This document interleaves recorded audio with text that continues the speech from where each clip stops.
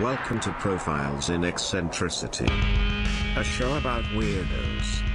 With your hosts, John Fahey, Aaron Peter, and Matt Brousseau.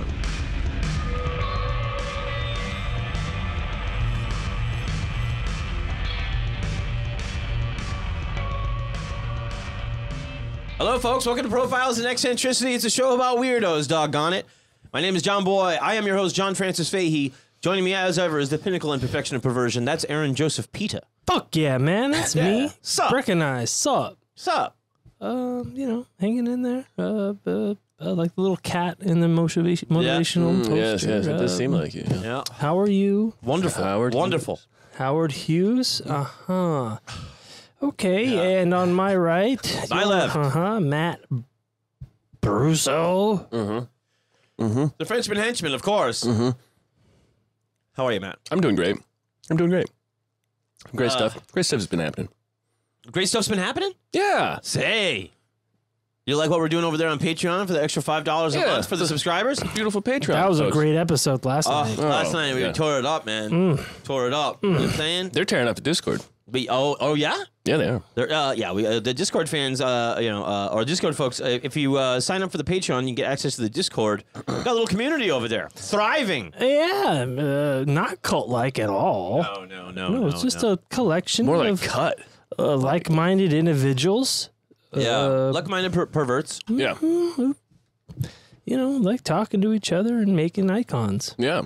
Oh yeah, it's really sweet. They'll show each other like their art and stuff. Yeah. It's all very, very nice. Yeah. Um, and, and the music they're listening to. Uh, yeah, and uh, sharing a wealth of good, uh, weird uh, content Mm-hmm. as well. I mean, we really got to dig into some of that stuff. See if we can get some of it on the show. That would be wonderful. Wouldn't that be nice? And uh, also, thanks to the wonderful Patreon people over, we've accumulated uh, um, some money to buy some new cameras for Yes, this. That's right. Yes, it's a, your uh, your dollars at work, folks. We uh, we look better now on YouTube than ever because we have uh, these wonderful cameras. And Yeah. we got plastic surgery. Yeah. that's right. We were really fuzzy before. hmm Yeah. And we just uh, even it all out. yeah. And then we got the cameras. This is the best I've looked in a while. And it's all You look great. I've been slumming. You look great. Aaron, you look great. Thank Wow. you. yeah. You guys always look great, but Yeah. this is the best I've looked in a while. I'm So big shout out to Canon. Mm-hmm. Canon, maker of fine cameras. Canon. Yeah, I mean, these are like 15 years old, but, you know, they, they still work. We- Old enough for me. Mm-hmm. yeah. Maybe 20 years old. Old enough to know better, young enough to not care. Uh, we uh, so we we did uh, some fan fiction over there on the last Patreon. Yes. That's right. Marvel fan, uh, erotic fan fiction. Yeah, not my own, but uh, it, I, I, I, I delved back into the pit from which I was inspired to Yes. do my own, and I found a few gems, and we'll be uh, digging back into that. Uh, we Pit uh, again. We also had uh, a wonderful uh, wartime invention that Matt brought to us. And, and then, as always, we went back to the uh, the wonderful dinner co- conversations with Orson Welles, which are just um, the gift that keeps on giving. It's just. it never like there's not one that isn't completely outrageous. yes, well, I mean, I, I am curating, but Uh, yeah, it's, it's pretty consistent. right. Yes, it's. I mean, there's a reason why this guy decided like, hey, can I put a tape recorder under the table? Yeah, yeah. Uh, and and with, with his consent, of course. You l- listen to him uh, uh, tell Richard Burton to go fuck Yeah, off. yeah, yeah. I told Richard Burton to fucking kick rocks. I was being evasive. I said, told him to go fuck himself. uh, fellas, you know what we're uh, talking about today? yes, You do. This is part two. This is part two of the famed Jamie Gillis. No. Pornographer. Mm-hmm. Yes. Uh, so you know we got we, we dove we dove into some some of the random things that uh, you know brought him to my attention. Um, but I wanted to uh, start with a. Uh, this is sort of a clip from his his heyday in an interview. Um, and I, I feel like it, uh, it it it sums him up rather well. Jamie Gillis, I have uh, heard you described in many ways. Does Dick Two of which that immediately come to mind is one, the best actor in porn. Two, the sickest actor in porn. Whoa. Like far That out. you will do things yeah, yeah, hold it up. no other male star will do in porn films. Well, I think that's all part of being the best actor in porn. In other words, there are a lot of people who uh, are more limited than I am. I like to feel that I can do what I'm called upon to do. Uh, I have a wider range than a lot of people. Uh, And whatever I do, I, I try to take as seriously as possible. Even if it's a quote, sick role. I think there's something to it, uh, like a legitimate, real stage actor. Uh, yes, Yeah. yes. It's Uh, not his first rodeo. No. It is not. Um, but Or it, but it, it, Bukkake. it- there, you know, there was so there was kind of a perfect storm uh, uh, of him uh, looking in the Village Voice for acting work and finding the nude modeling thing, which I said led him to the basement where, of course. She had sex with that dog, which is gay, and, and the dog, and the no. dog. Having sex with dogs is not necessarily No, gay. no. No. Just uh, But this dog was having gay sex with its master, apparently, according to Jamie. Um, and good at it. uh, yeah, and that's why he was a great actor. Yeah, yeah. Um, but because he also, you know, he was already, you know, you, you don't just show up and become that guy because you know you, you're he's bringing all that with him. Yeah, he already had the perversion. Yes, He brought that along to the basement. uh, correct. Oh, the I think you said debasement. He brought debasement to debasement. He did.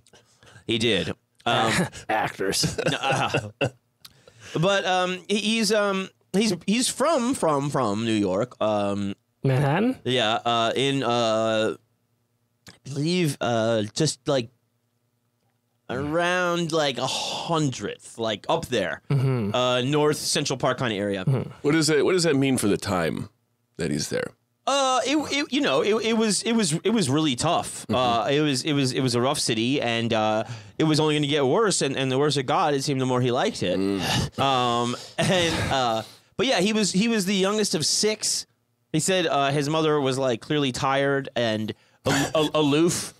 Um, and uh, you know he had one of those things where he was separated as a child because he had you know um, a sickness, and he was there yelling and crying for his mom that he could see behind glass Oh God, but not be able to touch her. Like and- as an infant? yeah, like Oh, Yeah, yeah, God. yeah. and like a Unabomber. and he was like, um, and he was like, and you know, she was there all cold and aloof, which she always kind of was. Oh boy. Uh, and yeah, they had they had a tiny little apartment. Um, Dad? Dad around or no? Dad was around, um, and you know, at some point they split. But he he also describes himself like he was a child that he was happy when it was raining because he didn't have to go outside and play. So there's also like this like uh, you know private uh, you know sort of Withdrawn. with John, um, but you know, a, a very contemplative, uh, but but a private person. So when people would say to him later, like, "Oh, you could have been a, a great actor in the movies," because he was, you know, classically trained Shakespearean actor. Um, he was like, "Oh no, I'd fucking hate that." He's like, if I went everywhere and was being recognized, like now it's like, Right, I, I'm Yeah. just as famous as I want to be. yeah, this right. is about the limit. Um, Yeah. and uh, you know, he he was saying like, um, you know, he came up and uh, he, he he wanted he wanted to be an actor, and and he very much wanted to be not a sellout, and that's a theme forever. It's like I want to do Shakespearean stuff, and um, and then uh, he sees Marcel Marceau, and he completely changes his life. The mime Yes. and and he and he uh, he, he goes, I'm I am a mime, and that is that. Uh, and- Incredible. And, he does and he does he does he does work. Um, you know, uh, well in school. Um, he's a good student. Um, but you know, he he just as soon as he graduates, he's like, I'm pursuing acting. And and then when it's like I've decided to become a mime, and he said Marcel Marceau, who he met a few times, He saw him in New York. He saw him in New York, yeah. And uh, you know, he you know, Broadway's not far. There's that thing, like even if you're poor in New York, like there's there's Yeah. good shit you can get to. yeah, right? you still you still get to at least look at Broadway. Yeah, yeah. And uh, so he was like, uh, and then um, he he had some kind of thing where uh, you know um, he read some kind of uh, you know philo- philosophical thing, and he's very philosophical. This is one of the things that Ashley West from the Rialto Report says in all of his conversations with him. Like he, he's very contemplative, very thoughtful, um, and a warm person. And uh, so, you know, and when he does, he, he sounds pretty poetic when you listen to him talk. But he goes, um, I, you know, he heard some kind of philosophy that's like, as long as you, as long as you uh, have a back, you'll always have a shirt on it, that sort of thing. Like basically, like you you will make your you know your needs you know met. Yes, so long as you're not, you know, devastating mentally ill or or what have you, you're you'll find a way. Yes. So he's he goes to he goes to Europe with a one way ticket and basically no money, and just No fig- money. Yeah, fig- figures it out, and uh, and then he joins a mine troupe while staying in Holland, and um, you know, one, one of the big benefits there, you don't you, no speaking, Yeah, right? Doesn't have to learn the language. It's like Right. if they let the monks out. Yeah, and he, he, so he was dating a girl that was in the troupe, and uh, she was like seventeen, you know. Um, and he was around that age too. yeah, he's not much older, and But you know, she was really mature. She didn't talk. Uh, no, she was just like a ticket taker for like their their troupe or whatever. They got this tent they inherited from a guy that was quitting his trapeze act, and then and then uh, What and- a sentence. Yeah, and he said he said this guy, you know, He, he he's afraid of heights. he he, perf- he performed for them like uh a- alone for his last time. He did like the whole act for them because he was giving them the tent. Oh, that's great. And it was like the his, grand finale. Yeah, That's his amazing. goodbye for the trapeze, and he goes, "It was so incredible. He did it all without a net." And then we were just like, it made the tent so much more of like a- Oh, a, yeah, sacred yeah, thing for us. yeah. Like we were like, "Oh, we're we're so grateful to have this." you That's know? incredible. Yeah, yeah. I mean, this is the kind of stories the guy comes out with, you know? And, um, you know, uh, like I was saying, he, you know, he always has these uh, brushes with sort of celebrity and stuff. And um, he talks about one time he- was at some some fancy party, and uh, this guy, um, this guy's telling him, you know, my name's James, but like I always really just wanted to be called Jimmy, you know? Jimmy he's Dean, the and he- sausage And he goes, but I'm too old now to start. And and, um, and and he's like, and I was encouraging him to, to, to, to go with his dream of being called Jimmy. Yeah. And then the guy's wife came up and she goes, uh, "Do you know who that is?" And uh, he's like, "No." And she goes, "That's James Watson." Who like discovered the- Watson and Crick. the DNA. Yeah, yeah. like you know, uh, and and then she goes like, you know, and he goes, um, she's like, well, who are you? And uh, he's like, I'll tell you what, I'm gonna write my name down. You Google me, and then if you guys want to hang out later, we will. But he, You Google me. you Google me, and That's what he. yeah, like you know, cause you know, um, and then some some gossip. Wait. So when uh, are we jumping time? I, I did jump time there, but this is just like one of his stories. I'm saying. Okay. Okay, so bro, because okay, Yeah, Uh, this is this is way later after he's famous. when Google's uh, around. yes. Okay. Google, was, All right. Google was not around in, in the early 60s. I agree. Okay. So, you had me there. For a second. Yeah.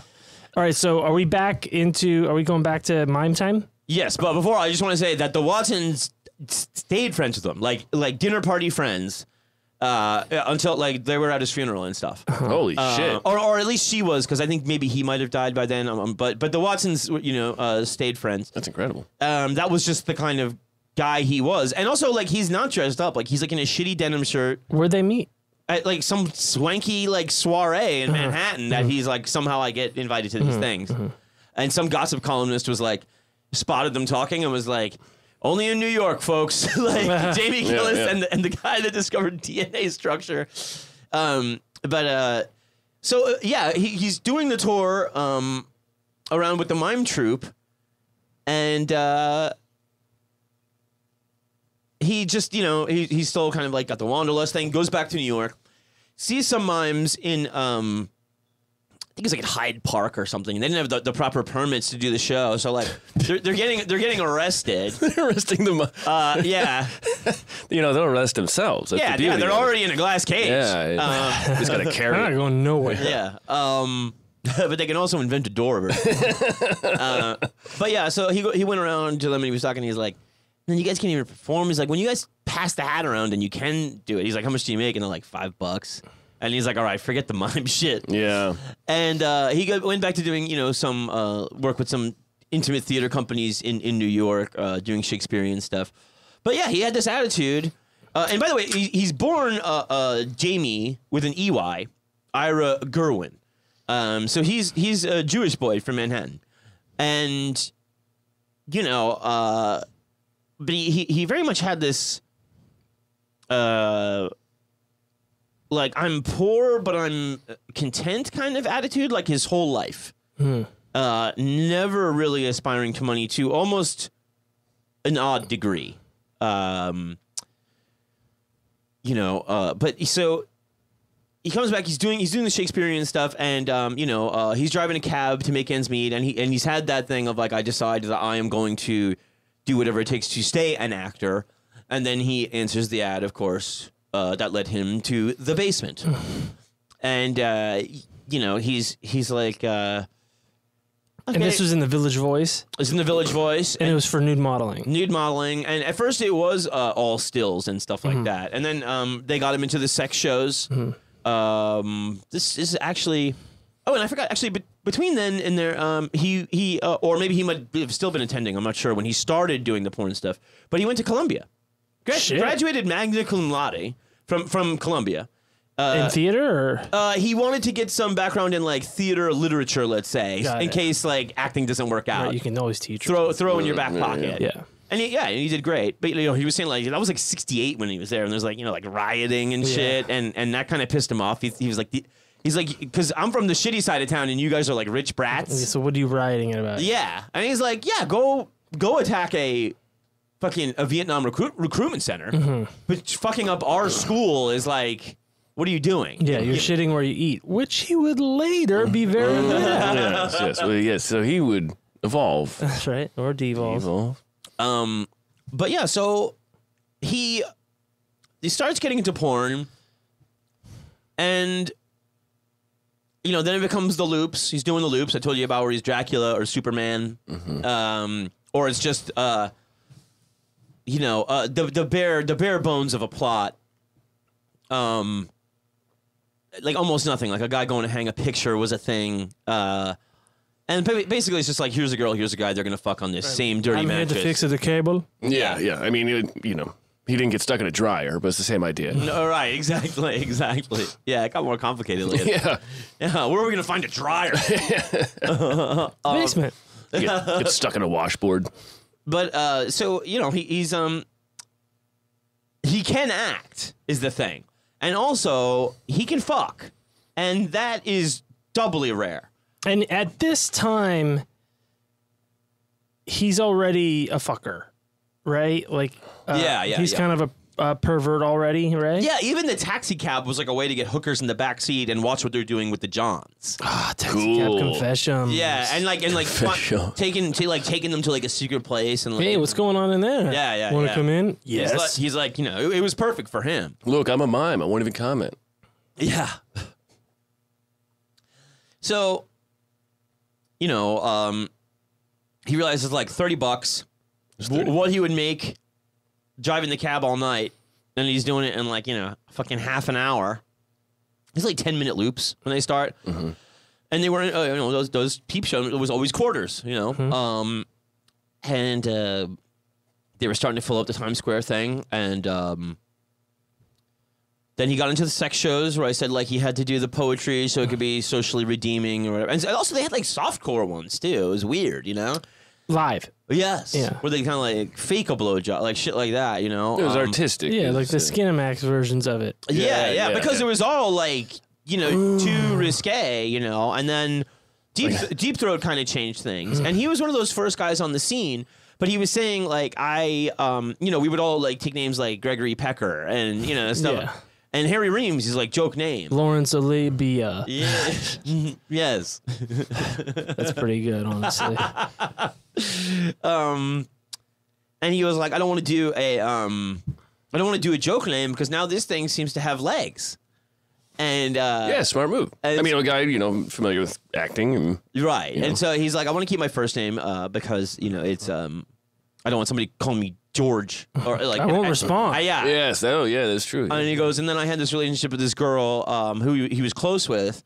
And this is the thing too I've I've noticed with uh, the women throughout his life. It'll be a thing where like he dates them, and it always ends chill. You know what I mean? Like there's like they, he always stays friends with everybody. There's nobody really, there like has like too many bad things to say about him. Um, it just doesn't work out. The timing well, or the also like, personality, he- or and he's you know? just such a swinging guy Yeah, anyway that you kind of know what you're getting into. You're right. right. Um, Not breaking hearts out there. Exactly. Um, so he, you know, um, he he starts becoming, you know, one of those guys that's always on the scene. Um, and he, he gets like, you know, to this point where like I guess the the the moment in the career is the opening of Misty Beethoven. And that was that was like the Rialto Report the Rialto Report says it's the best porn film like by a mile. And I don't At that point, they say still to this Misty day. Beethoven. the opening of Misty Beethoven. I'm not familiar with Misty Beethoven. I am not either, which is kind of a crime. Was there a, a Saint Bernard? Yeah, in there? No, no, no. No, that was that was the parody. I, I, I think uh, you know, and he was saying like, um, like for the one he for the one he got uh, arrested for, um, which was uh the one in Long Island. I said, uh, Oh, in the town. in a where- town in Long Island, yeah, and he said like those are, that would be called a one day wonder. Oh, and okay. he and he was going like, and then two days, and, and you know, um, he's like, we would- we would paid a day rate, but it was a thing where like we get called in, and you know, once once it like went to the twenty fifth hour, you, you can't call it a day anymore. Sure, so they yeah. kind of had to start doing. But he's like, but a three day movie was like fucking unheard of. I mean, the shooting of. The shooting of, yeah, Yeah. um, not the length of, uh, but uh, then you know when it gets to the opening of Misty Beethoven, this guy whose name was uh, Metzger, um, he, he went uh, his stage name uh, or you know director name was uh, Henry Paris, but he did he did a couple of movies that were just like you could just see the quality really go up. But he was also a fucking head case, you know. Um, but but Jamie got a real kick out of him. Um, but he was kind of a piece of shit, you know. Um, but Jamie, you know, also thought that was funny sometimes. but he had some stories about him where he talked about Metzger one time was like he saw some friend of old and he kind of blew him off and the, and the guy was kind of hurt and he goes he goes uh, you know he goes when you were struggling man you were a lot cooler you know it's not now that now that you're doing well like you know you act superior you know to, you feel superior to everyone and he goes I resent that I always felt superior and when he's when they're doing uh, the opening of Misty Beethoven they did it in fucking like Rome Paris and New York like it's all over the fucking place That's when they uh, you- the premieres. oh no the filming of The filming of filming, the opening. yes, You mean yes. like the opening scenes are uh, no I'm talking about it was filmed in all three cities right. So it was like that's a, f- a long way from even the three day uh, movie being. Uh, so this is like a, considered like a huge step above, and this is very much in the time of of what was considered um, porno chic. Right. Um, the opening of Misty Beethoven, Ah, so the title is the opening of Misty Beethoven. correct? Yes, and the director insisted he hated when people shortened it to Misty Beethoven. Got it. oh, okay. Okay. Yes, That was confusing. But, Yes, but, but, yes, but yes, the, yes. the premiere screening, the uh, opening, the op- the opening of the opening of opening of Misty Misty Beethoven. Beethoven, yes. Uh, and, then, and then the first scene is the opening of the opening. it was the opening. it was held with like film critics at the Four Seasons Hotel. wow. Like it was just like a different time. Like like Deep Throat changed everything, and there was this minute where everybody really thought, uh, we're, we're like we're gonna have a crossover. It's gonna happen. There's Yeah. gonna be people that can do both. Right. Uh, adult films and you know uh, and and and uh, and mainstream films. Um, and yeah, porno, Puritanical porno, porno America. chic uh, it meant it was classy Yeah. that that you wanted uh, these people around, and and plus like it it coincided with the culture of feminism. Yeah. big time swinger scene, Huge. huge. Yeah, this is pre-AIDS, people. Um, Yeah, and y- you know, um, I'll get to that in a second.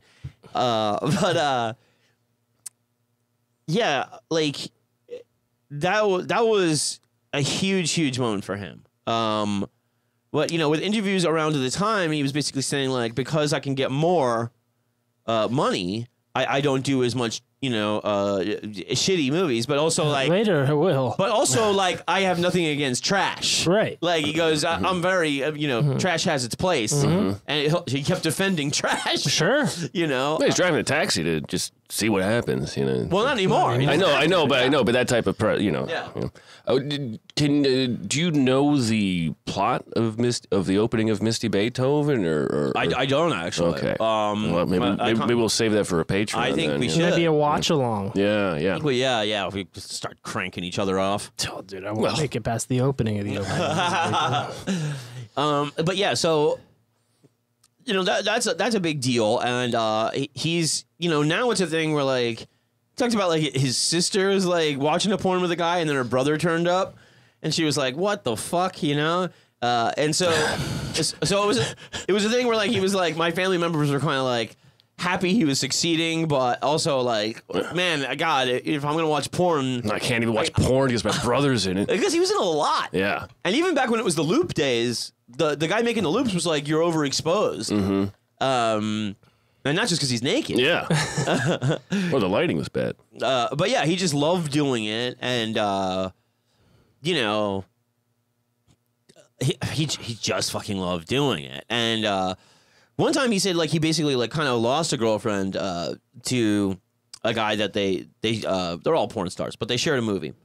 And then uh, later on, this girl, you know, uh, she got she was got fucked by this dude. Um, In a movie. uh, no, no, just like in, in their in their private life. Uh-huh. Uh, and and she go and he was like um, like a few times, and you know, one after another, just bang, bang, bang, bang. And he goes, um, I bet Jamie can't do that, can he? And then she goes, Jamie Lee does it once, but he does it all night long. and the dude was like, Ooh. jaw dropped kind of thing. Fuck. Yeah. Um, but yeah, so he's that kind of guy. Um, like I mean, a really, really nutty in in the private life, uh, in the, in both ways. Um, you know, uh, he he is openly bisexual. Uh, he can turn uh like switch on a dime, dom sub. Uh, you He's know, a switch hitter. Yeah. And a switch hitter. Yes, and uh, you know, he said like um, he was like when he was a little kid, he, like it was like he was like, you know, he just knew there was some stuff, or like he was like, I, you know, the, you know, like the comic books aimed at girls. Like, I still had like, you know, twenty five percent of my comic book reading was like superheroes, and then like yeah, Archie type stuff, you know, um, and. uh yeah, also, also, I should say, you know, he, he was talking about like uh, as, as when he, I was, this is really fucking weird, but he was like, um, my dad uh, had had uh, this girlfriend move in, so the mom's, you know, she's out of the scene, um, when he's still like living in the apartment, growing up, teenage years though, you know, and and uh, she has some daughter, and um, she's you know, kind of up her own ass, and she's like, you know, you they start fucking him and him and his stepsister, of course. This is where it all started. Yeah, and uh, Stepsister. What? and so uh, she would be like, just and you know, and like, but just don't touch my fucking hair. And she also like w- w- was like uh, made him feel like just like kind of disgusting for always wanting to fuck, and then that turned him on. And then she would um Well, because they fucked. she would uh be fucking him uh while like lying on her stomach watching TV, like ignoring him, and that really turned him on. Uh, These are all things that are all tropes in the pornographic films now. yeah, And also learned. Yeah. And he's talking about one time he, like go- he's he goes like, he goes like he's like I got into like the yeah ignoring sex and he's like one time I was I was just I was just doing it so gently and quietly because because the woman was doing a crossword. Well, she's intellectual. She's Yeah, keeping her yeah. mind sharp. That's nice. yeah. Log you find in the woods. Uh, it's uh, four letters. Goose. So you know Ah, so it you know it's kind of um you know uh s- sort of like his heyday around there. Um and constance money was um like a brand new porn star that was uh uh the uh, co-star of opening uh, Mis- she was misty beethoven.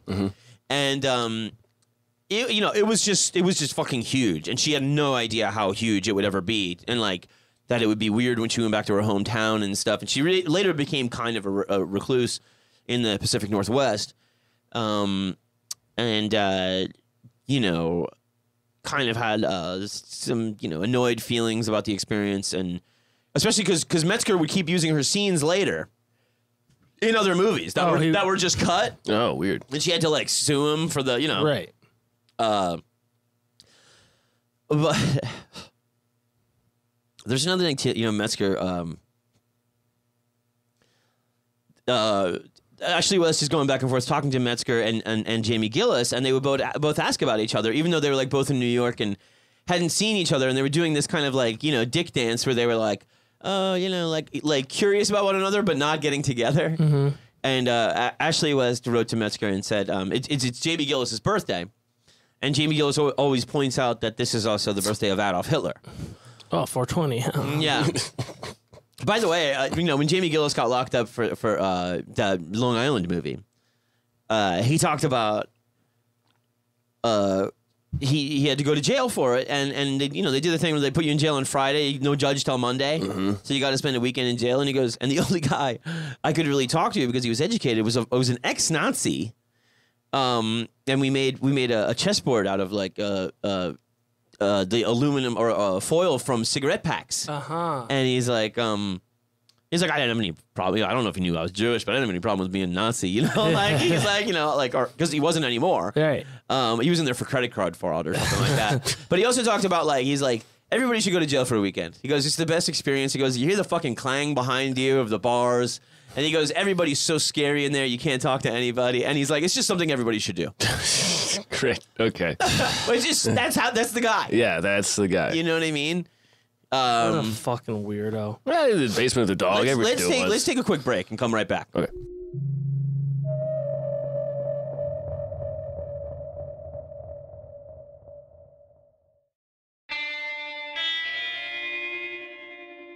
And we're back. I actually I fucked myself over. I, I didn't finish uh, the anecdote. Uh, so uh, because I, I, I I said Hitler or whatever, but yeah. So Jay and then I went to the, the, the jail story, but so. Uh, Ashley West has, has told Metzger, uh, Henry Paris, who directed the opening of Misty Beethoven. He also did Maraschino Cherry, a very good film. Um, and I think he only did like a total of five, but they there was like a step up in, in caliber. Um, but he so he told Henry Paris uh, it's Jamie's birthday, and he always points out it's Hitler's birthday, and he goes um, he writes back to Ashley Weston. and he goes, you know, uh, there's a story yeah, people don't know that Hitler spent uh, one of his birthdays in the bunker, and you know everybody was toasting and everything, and um, there was a clairvoyant woman there, and she said, you know, one day somebody will be born on this day too, and they'll be one of the greatest pornographic actors of all time. Hitler said, Hitler said, I bet it'll be a Jew. and and Jamie had this whole thing about um uh he goes he had like a whole, he had like theories like on on which I, had, I hadn't heard explained, but like I heard uh, Gilbert Gottfried at his funeral said. Jamie, Gilbert Gottfried at Jamie Gillis's correct. He said, Holy shit. he said, I mean, he was like, he was just that guy. Yeah. Um, you know, and, fantastic. and there's a thing there too where uh, you could you could imagine this. I'm, I'm sure. Uh, uh, uh, the circuit of uh, Al Goldstein. Yeah. There's that. There's that interwoven. Yeah, and there's a there is a New a- York is New York. yeah, and there's also like a, a big crossover, like you know, strippers, comedians, pornographic people. People up late at night. Yeah. Yeah. Yes. Um, but then there's also that thing of like, you know, because it is New York and it's only a few blocks away, the people like the Watsons, they'll have like these stuffy parties and somebody will be like, hey, can we get some of those weirdos here? You know? Bring, bring him over, yeah. Yeah, you know? Um, Yeah, it's like a circus show. You know, like bring in the freak. You don't know any mimes, do you? Yeah. yeah, yeah, now they're kinky. um, but, but uh, so, you know, it's around this time. Uh, Con- I think Constance Money on the on the set uh, of, of Misty Beethoven had sort of a relationship with Jamie, and um, she actually w- was the only person I heard that was kind of like, you know, sort of butthurt about it ending, and um, but uh, what would be the the, the famed couple uh, of of Jamie Gillis's life was him and Serena, the porn star, and he said like Serena was a girl that she was. Uh, you know, at one of those places where they were, you know, photographing girls, and like he heard oh well she lives she's married to some guy in uh, northern california and he was like oh well but he never forgot her and then she was back dancing in this place called show world in uh, times square and it was like a multi-story sex show place Awesome. And and he was like that's where the M&Ms are sold. He's like, you know, you could just pay in with quarters and see a live sex show. And he's like, and I saw her just like doing this, like, kind of like, you know, twirling, writhing, dancing. And he goes, like, uh, he's like, I was just so in love instantly. He's like, he's like, I, I, I, I wanted to just like hold her and love her. It wasn't even like this lusty thing. He's like, and, um, uh, oh, April Hall, I think is her name, um, from the Rialto Report. She told this to Serena, and Serena just goes, "Wow," and then like silence, and then she goes, "Wow," and then she goes, "Well, what's your memory of that?" And um, she goes, "I remember I was like on my period, and there was uh, you know, some, you know." Like a little trickle of blood going down my leg, and I figured he smelt the blood. Because she's like, you know, uh, April Hall is like, you know, Jamie sounds so poetic and stuff like that. And she's like, I remember Jamie just as a beast. and she goes, and not like in any kind of, like in, in this terrible way, because they become, like I said, you know, the craziest thing ever as a couple. Like just turbo kinky, nutty, nutty, nutty. And, um, but he's like, yeah, I, I, I talked to her um, you know, backstage after she did the thing and she knew who I was, she was really excited to meet me. And she goes, and then after that, it was like she was supposed to be there for a week. She stayed there two years, Jesus. and she lived in uh, his apartment right in Times Square. And that was an apartment where like Jamie would get hookers like off the street, like call them up from the window, and you could theoretically leave a movie with Serena and Jamie Gillis, and then walk out and see him like fucking her out the window, which they did. It's a double feature. Yeah. Yeah. Um, and you know, uh, around the time there was like Hellfire Club and uh, Plato's Retreat, the swingers places. And he was like, Plato's Retreat was like, you know, um, well, actually, you know, I can, I can, I can play a clip from that in a minute, and I will. But I'll say this: uh, Serena was like, you know, before you went out there, did you hear about Jamie Gillis? Because he was one of the few guys. She had come up her own way in the California scene. She was an LA girl. Ah, the Oh. California thing. Yeah, yeah. Uh, waitress at Bob's Big Boy in Glendale. Hey, Burbank. Uh, yeah. Uh, you know, she said Glendale, but it, it's, it's it's right on the edge, I yeah, guess. I guess. Sure, sure. Uh, her mom was too. Her sister was too. Um, and uh, I think I think that's actually where she got picked up to be like you know your first uh, modeling shoot, whatever. And uh,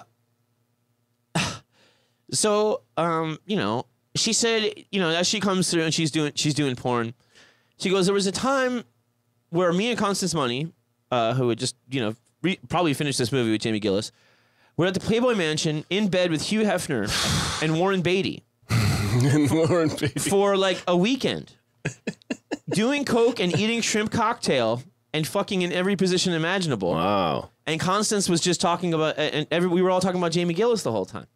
And Constance Money was talking about like him crawling around the floor and jerking all off all over her high heel shoes. Jamie? Jamie. so like he's like he's just got this crazy crazy. Cocaine's a hell of a drug. Yeah. no, no, Jamie didn't do drugs. Drugs did him. He said he said like in late sixties he had like probably like a bad acid trip and it was like uh, you know if I if if I get out of this I'll never do it again and he goes and I, I basically stuck to it. Wow. He was just a fucking head case. Yeah. Um, and Jerking off on shoes. I mean, yeah, looking pretty good, those shoes. she she said uh, when then when she lived with him she goes there was a room I couldn't go in. It was always locked. That's always a bad This is my sign. toy box. Uh, it, wa- it was it was just uh, full of women's underwear. She saw it all over the floor, and she was like, he was just a thing of like, you can't go in there. Let, and she was like, okay, cool. That's you know that's your that's your fucking weird thing. And it's just like she's like, I, I never went in there. Wow. Like the only reason I knew what was going on is one time I saw him coming out and I Might looked. have been some pizza boxes in Yeah, there too. yeah, yeah. yeah, but but yeah. Um. I mean, that's how you know you're doing well in New York if you can afford a room just for underwear. So This is rent control. Yeah. you know, and, and, and she, she said this thing about, uh, you know, she's like the Hellfire Club. She goes, you know, uh, there's stuff, you know, I never would have done there. She's like, we were just in such lust, um, that he, you know, there's things I would never do that I did because I was in a relationship with Jamie Gillis.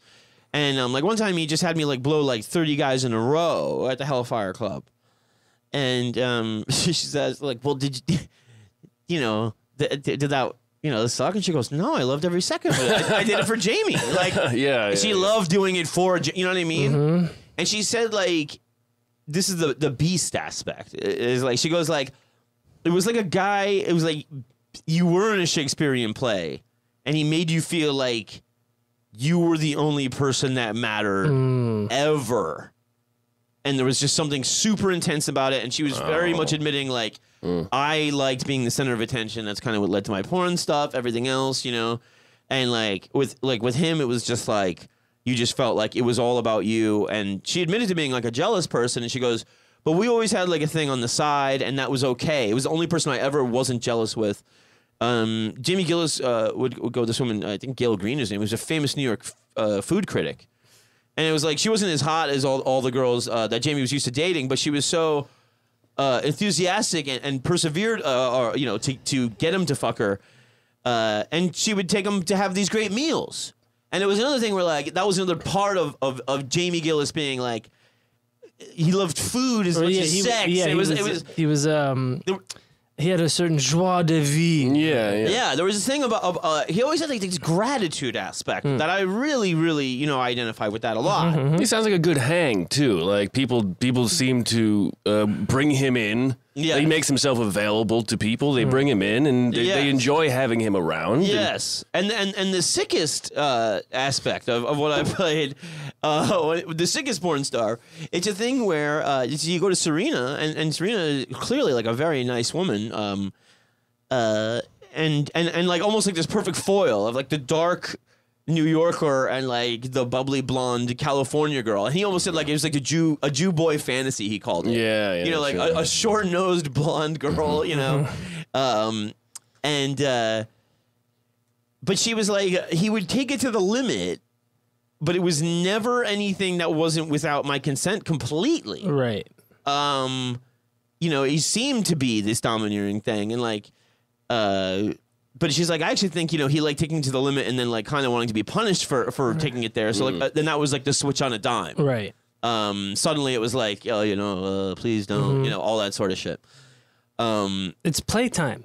It's all on the stage. Right, yes, right, right, right. yes, but it got you know it goes so far for some people. It's hard to believe that it's that it's not like a sick thing, Right. That it's not exploitative Yes, yes, or um uh yeah, exploitative is the word. Yes. Yeah, yeah, but you know, it, it, it's context and relationship based. If if if if you just hear that without knowing, Then you go, oh, this guy's making these Yeah. poor women eat shit. Mhm, yeah. But I, I, didn't- I it's something that I wanted to uh, keep for you, especially Aaron. But it just talks about the time uh, with um, you know Plato's retreat, the swinger aspect, and um, uh, a little snapshot. Uh, I think it's a movie called like American Swing that I, I believe is maybe on YouTube. Um, just about the swingers scene in New York that I think we probably all have to see. But this is Jamie Gillis uh, just starting to talk about sex in New York. It always will. Because I used to drive me nuts. I'd go out to California to do a movie, and they'd put us in, in, a- a hot tub or on the sun, and it's like, what is this? It's like I felt like uh, a vampire. What are you? What is sex in a hot tub and you know the sun? you know that's horrible. It's not sexy. It's like it's, there's something wrong with that. Yes, sleazier the better. It was always, I guess, uh, in, in, uh, more made it more fun. That's why when I did the on the prowls later on, I would uh, sometimes I'd take girls to dirty bookstores, you know, back rooms, dirty bookstores, or, or the sleaziest. I'd take them to the sleaziest motel I could when we found a guy to do. You know, you know, it was more, it was more tasty somehow. Yeah. What do you think that is? Well, there's a kind of energy in New York that's more uh, condensed, repressed. You know, California, you think about it as it's just the geography. It's all laid out. It's all spread out. It's, oh, it's all right. Yeah. It's, uh, but in New York, it's like, it's like uh, rats in a, you know, uh, in a box. You know, they're all, they're eating each other, you know, because it's so compressed. No room. So it creates energy. It creates vital energy. You know, that's why, you know, people out west, people are like, you know, walking around and drawling, you know. But that energy in New York could, could makes for good sex. That's why a place like the Hellfire Club was crazy, sexual. Couldn't, I, I can't I can't even imagine that in California. How would you describe the Hellfire Club? Well, it was like a, a sex club, but it wasn't like, it, the, the thing about Plato's, as much as I loved it, it was only couples only. Of course, not for me. I was graced because uh, uh, of my position in the world. Jamie I could Gillis come can- in can go and just be alone. Yeah, yeah. I didn't even have to bring a date.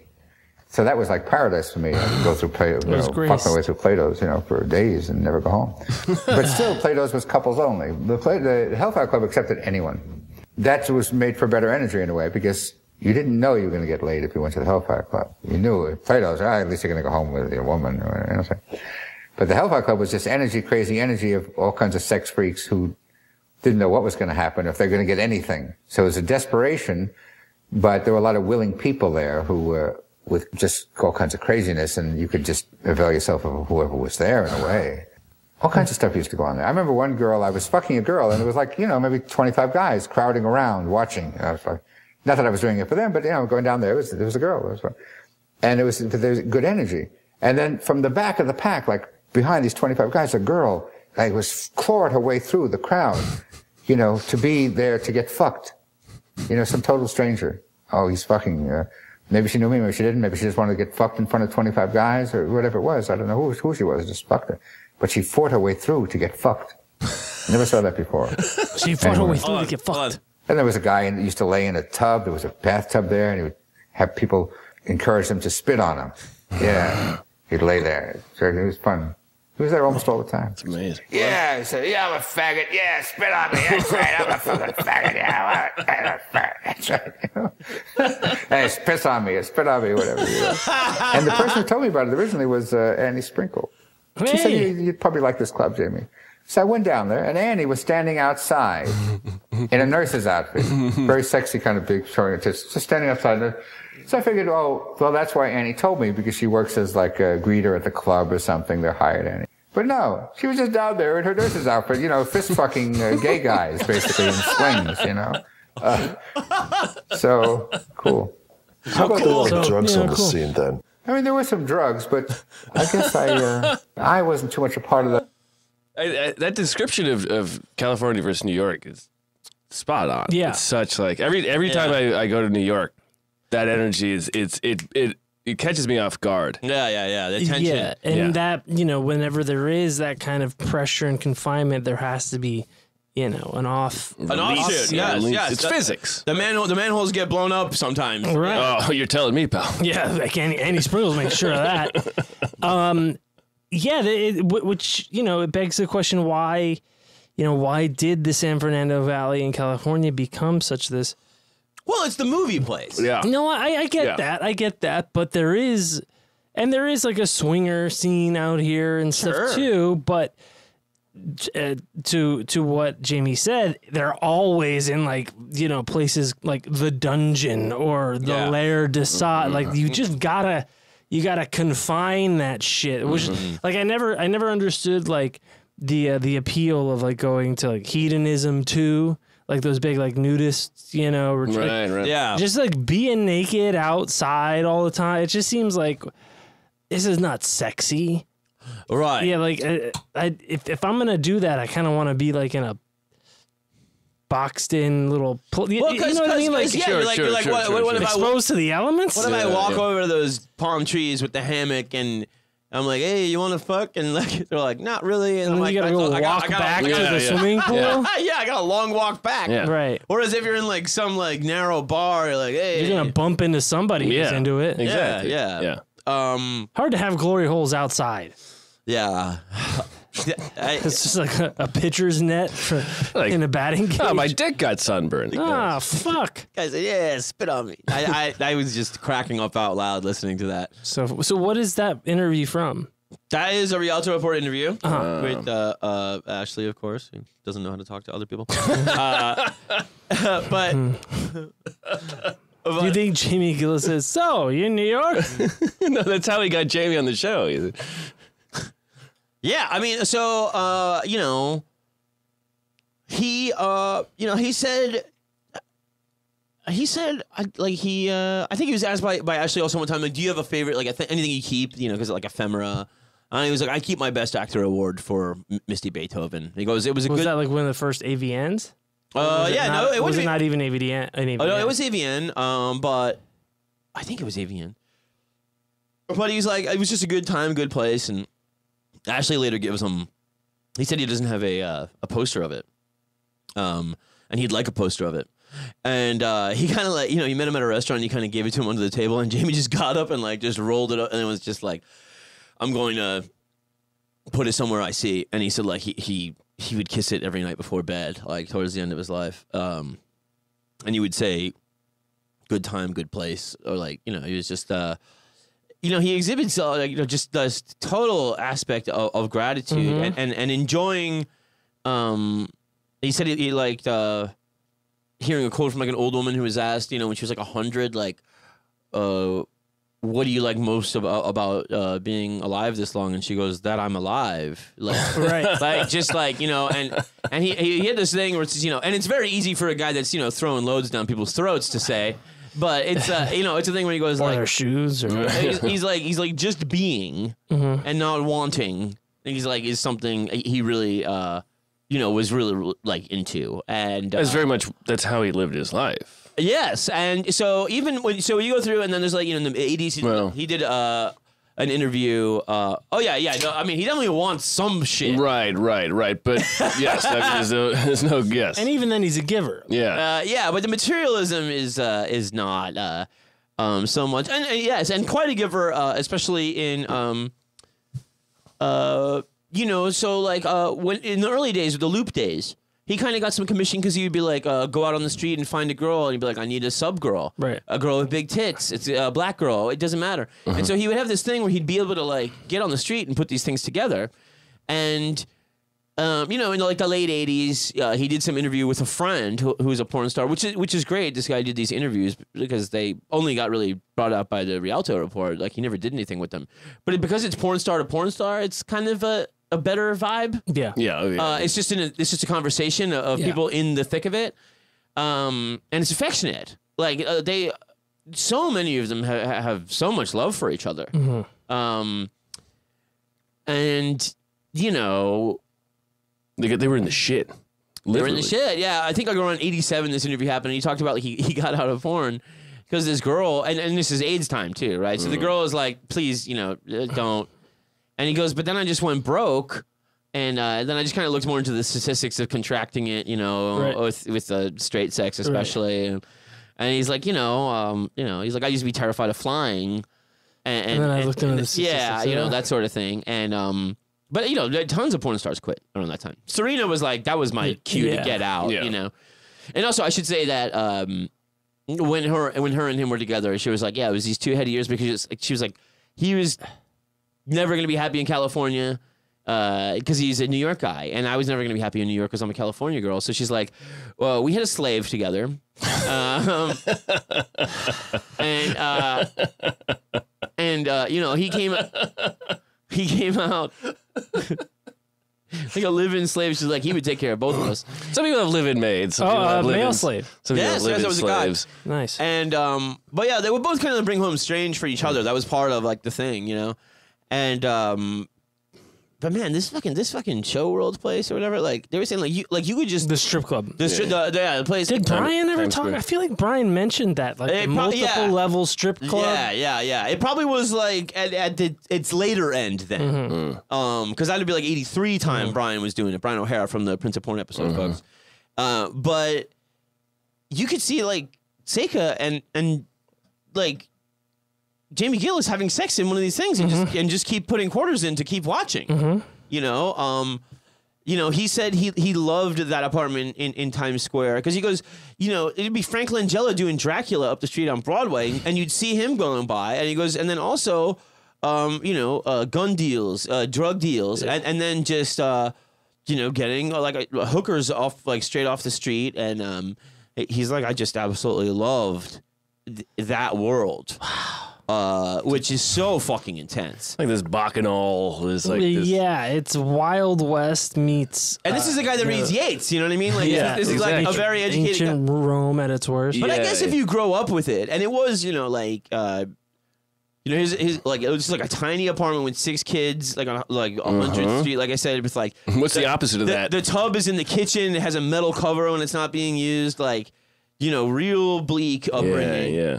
Um, and so I guess it's part of just growing up in New York too, right? Um, but the way it was, if you think about it, it's the it's it's his intersection of sex and theater. Yeah. Absolutely. right there. Right there, yeah. And um and and then he has like you know this very like zen attitude towards things. He's so grateful for everything, um, and uh, so you know he- he's going into the eighties now. It's like the the work is bringing him you know more to California. Um, and he's you know not really so about that scene. He has this year where he's got you know not in it, and uh, he's like then just flat broke, and he's like I got to get back in the industry. And uh, yeah, then he, he went back and he met this guy Ed Powers. Uh, this is around eighty nine ish, and um, he's like he was hooked up with some industry guys, and like, he's like we were buddies. And he goes uh, when I first met him, I was like oh whatever you know. And uh, then he told me Ed Powers. He goes um, he goes yeah I had. Uh, picked up these two hookers, you know, and he goes, um, they took me, uh, you know, uh, I took them home, and then they tied me up and they robbed me at gunpoint, and um, He goes, and then I got loose and I went out and I found them and paid them to do it again. and then Jamie goes, uh, "This guy's on my level." Hey, hey, hey! I just want to talk to you. And and then and he's like he's like really he goes he goes check it out he, ah, goes he gives he puts Jamie on the phone with one of them That's fantastic. and she's like yeah she goes with the money I got from from your buddy I just bought an even bigger gun than the one I scared the shit out of him with I'm reinvesting back in the business. yeah Yeah. and Ed is like hey I'm gonna drill this hole through my window so you can see me fucking hookers in here and like and they're like close pervert buddies and and then they're the two uh, when when they're on some set somewhere and, and Jamie's looking around and he's going like uh, you know, I, I thought I thought the video would be the great equalizer going back to the to the loop porn things, and he goes, instead we just got shittier movies. Yeah. and he's like, I'm yeah, on yeah. some set, I'm looking around. He goes, everybody's fucking bored, and everybody's like, when can I fucking go home? And, and I said, I turned to Ed and I said, let's just get a fucking car and go around and get a girl that wants to fuck and pick up guys off the street, and uh, you know, and he goes, okay, but let's make it a limo so it's classy. and Jamie's like, nah, man. He's like, he- he's like, I wanted to be dirty as fuck, and he's like, but I went along with it because I was like, whatever. And he goes, and I, you know, I made this video, and he's like, and I was just so excited about it, and he's like, I was so proud of it. He goes because he's like, I knew Renee, the girl from the first one, is so down for whatever with fucking, and he's like, and I just love the idea that we were going anywhere, and these guys are not getting paid. And they're just coming in and it's like, do you want to fuck? And yeah. And then also like he was like, if the girl didn't want to fuck them, it was like, sorry. And so he's like, there's this like a thing where, you know, Ed was too scared, he said, to film because Jamie's just kind of talk like hosting. And he's like, uh, and then Ed is filming. And he goes and uh and, and Renee says, Oh, yeah, this is kind of great. We're just kind of on the prowl out here. And like he's like, Oh, that's That's that's, the the title. title. and and then um, you know, um she's just down to get super nasty and then some like two sailors they pick up and uh you know I mean, they're off Broadway. one of them just watches and the other one fucks and the one that just watches apparently like uh, the navy's coming down on him his, his his lawyer contacts jamie later and is like hey this guy's getting in trouble with the navy you know uh and jamie says tell the navy i'll go public that both of these guys were fucking and they will have a lot of bad publicity on their hands. Mm-hmm. And the lawyer calls him back and he goes, "That worked like a charm." Oh my god. he tells his lawyer, Jamie tells his lawyer, he goes, "Hey, listen, I'm doing this thing," and his lawyer goes, "What if you get some senator's kid in there, man?" He goes, "Burn it." He goes, "Bury it." Yeah. He's like, "Do not do this." And uh, Jamie puts his lawyer's advice in the ads for the video. Yeah. and it fucking it, it, Sells out. It, just goes crazy. Yeah. And so it's and like we said, launching Gonzo, launching reality, and Ed Ed is like uh, he starts doing this thing called uh, like bus stop stories or something like that, where he finds girls, but it's still scripted. Right. Right. And then he's doing this thing where it's like uh, you know uh, he's you know he's not hot, he's an ugly guy. Uh, Jamie. Ed, Well, Jamie too, but not, not- a lot of people would find Jamie a stud back then, but also you yeah. know, Maybe maybe by people the, thought Ron Jeremy was too. maybe by the '90s, you know, he's he's not. But you know, he did, he did seem like he looked not bad. A lot of people found Not Jamie bad. really attractive. you know, I don't know. Elliott Gould. Yeah, I mean, yeah, it was Elliott Gould, uh, you know, look like. All right. I mean, Elliott Gould was a sex symbol. Yeah, sure, yeah. I mean, I don't know why that was a thing, but it was a thing. Yeah. Um, you know, Larry David has a theory that every, every generation gets better looking.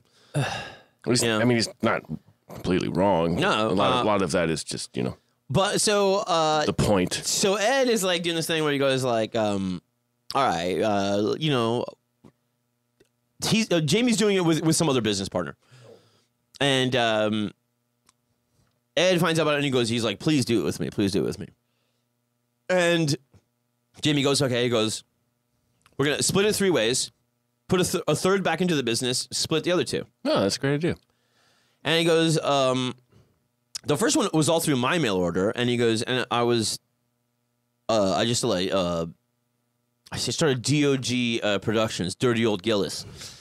And, uh, or Jamie Gillis Productions, like, and, and so, but he's like, I didn't want to do all the office work. I didn't want to do all, all the mail work. And he, he's like, but I was, I was, he's like, I was also, I didn't like, uh, being in line, in, in like the business line of the bank. He goes, Right. He was like, I wasn't with like the unwashed anymore. Yeah. and he's like, and I didn't like it. Yeah. And, and he goes like, and so then I just, I just like gave it to Vivid Video and said like, I'll star and like you do whatever. You But- the paperwork. Wow. But the stuff, the beginnings of it, uh, it was that and another series, Dirty Debutantes. And Dirty Debutantes. Oh, big that's the yeah, that's the one I know. Huge. Yeah. Dirty yeah. Debutantes was a thing where um, he also had a girl come to him and was like, "Hey, listen, um, I'm a stripper, and I will get more profile if I'm if I become a porn star." And, and so.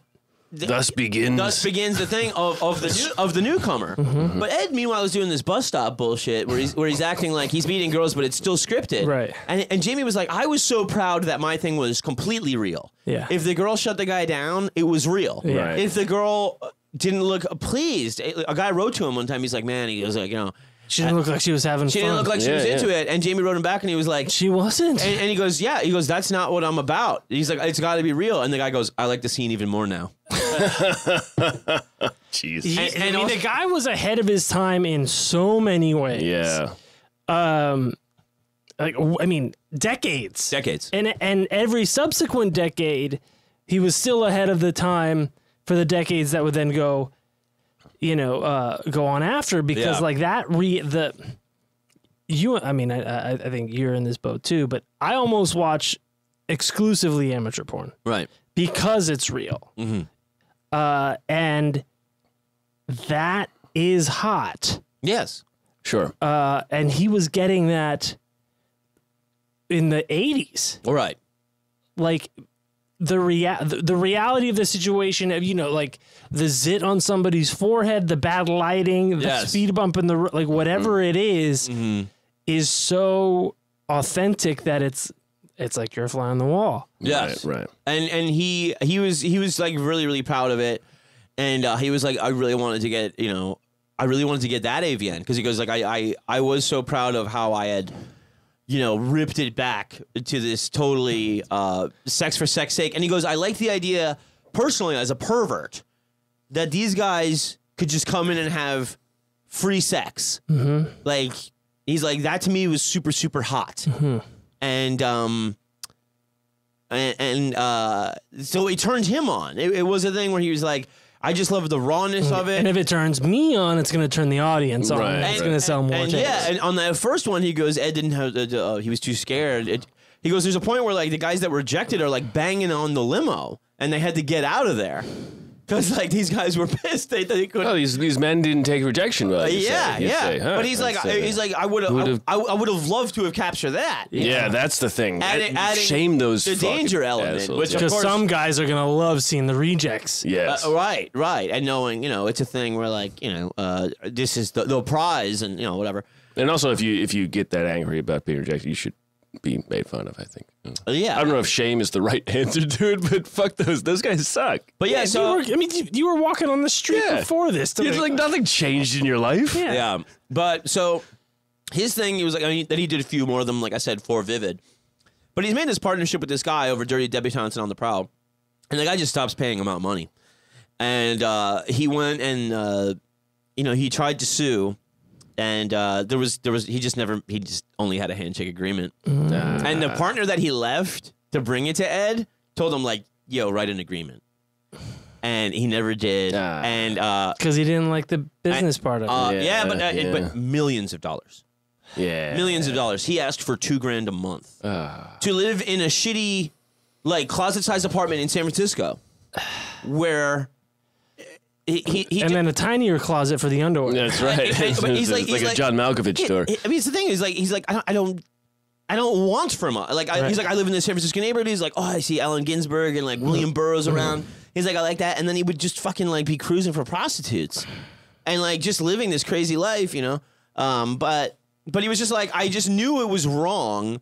And so he's he sued and appealed and uh, he he never won. Fuck. He never won. And It's tough because I feel like I feel like a court is all also general like the, the the the idea of these courts is also generally like do not uh, give money to the pornographer. Like they you're already at a at a, at a disadvantage. yeah, but I mean Yeah. the money coming in was staggering. Yeah, I mean, Vivid was like that. The But no, no, not not even vivid because because this is like like um, you know, uh, basically it was it was like the- like Dirty Debutantes. I think especially is what what took over. Like he did like a couple uh for them. I think he's only done like seven, and the first one is is the one he only purely owns. Is the first Dirty Debutante. No, the, no, the first on the prowl. First on the prowl. Yeah, yeah, yeah. Okay, okay. Uh, because he did it with that other partner. Right. But this other guy just fucked him out of millions and millions of dollars. Hmm. Um, but you know, I think he kept like you know working enough, and I think he was just like always that kind of guy that would have some kind of wealthy girlfriend. You know, like he seemed like that kind of dude too. Yeah. He seemed like an, he's an interesting guy. The dog left him a lot of money. Right, yeah. the will of the Uh, yeah. Um, but you know, uh, that but that was really sad. Uh, and like when when the AVNs were coming up for when he launched this genre, which people were going like Are you talking about Gonzo? Gonzo reality? and both, yeah. Uh, and he's like, and he's like, I, I you know, I, I was really hoping I would, I would get the AVN. He was like, the AVN was getting ads from Ed's company for his bus stop bullshit. And he goes, they gave the first award to Ed. Yeah, yeah. And he's like, it was the one I really wanted to win because I was just so proud of what I had done. And it's not, it's not about acting at that point. It, it's just about Innovation. Yeah, yeah, Innovation, Yeah, yeah, yeah. What, what what what year is the, the the first of those reality? 89. I mean, that's that's before real world.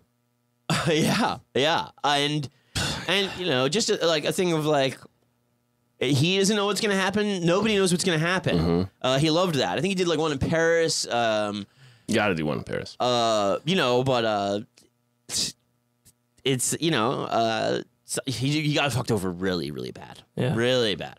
Um, so you know, he keeps forming, and um, I think in the year 2007, uh, as as you know, it was sort of a gift to his girlfriend at the time, who who was a, a restaurateur. Uh, he he decided to quit. You know, plus I think it was just you know time to get out. yeah, he's not young anymore. Yeah, I mean, you started like in fucking '69. Yeah, It- you know what I mean? Like 2007, Jesus Christ. Yeah. You know? Um and also by don't forget by then like he's he's like I think 30 when he started. yeah. Like he's Fuck. he's been around acting, he did the thing in Europe, you know. Yeah. Then he went to college. Right. So like, you know, he's not like you know spring chicken by the time he even starts. Um but you know, so there's this there's this, this great time uh in between there uh where he he's doing some some stuff in San Francisco. Uh I guess after he was just working for like a fetish company. And uh, let's take a little break, and I'll come right back, and then we'll we'll talk about the uh, the end of the life of, of Jamie Gillis. Fantastic. Can't wait. Be right back, folks.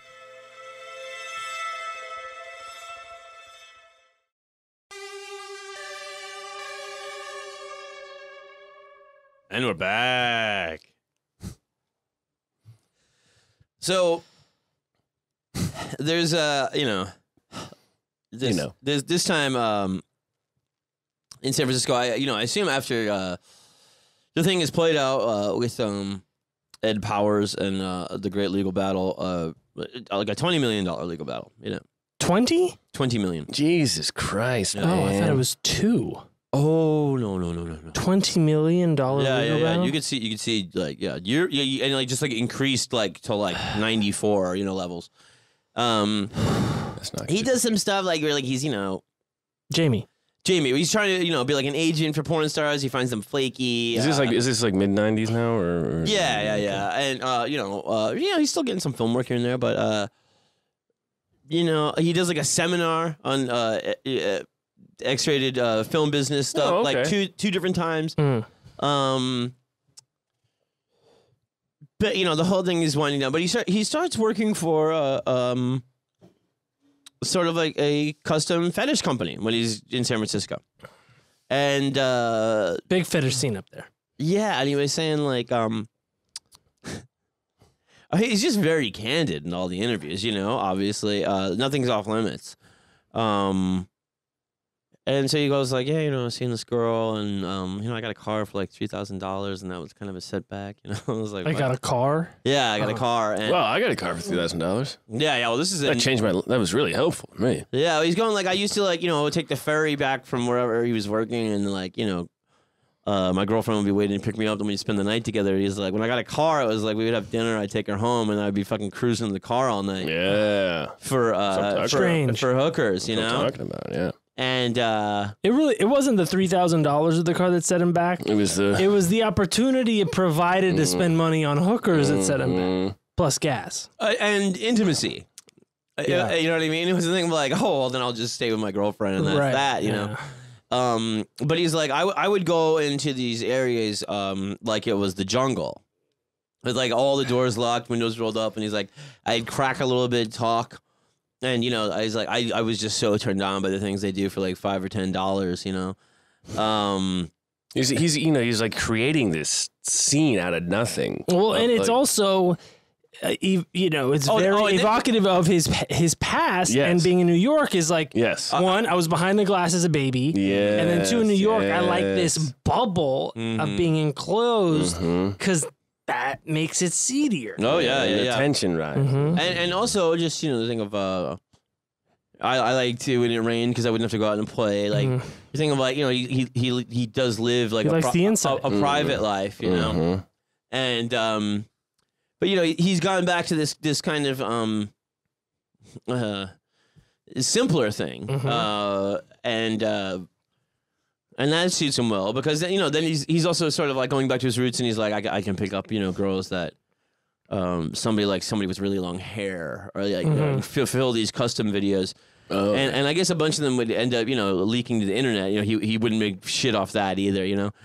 Um but just also in his private life, he's just going around and, and fucking hookers and he, he said uh, he would just be like uh you know so, so turned on by the things they do for five or ten dollars and he, he would be like you know how many guys you've been with tonight and they'd be like oh I just came out and he's like no tell me really like it's, it's better if Uh, it's more yeah, lie to me. it's in better the other way. yeah it's better if you've been out all night you don't know what I've been through. I'm the bane. Yeah. So he's like, if I found out they did like three blowjobs and two fucks, then I'd be really turned. on. Yeah, yeah, yeah. And he goes, um, but Goose, goose the stats. he's like, I, I yeah, yeah.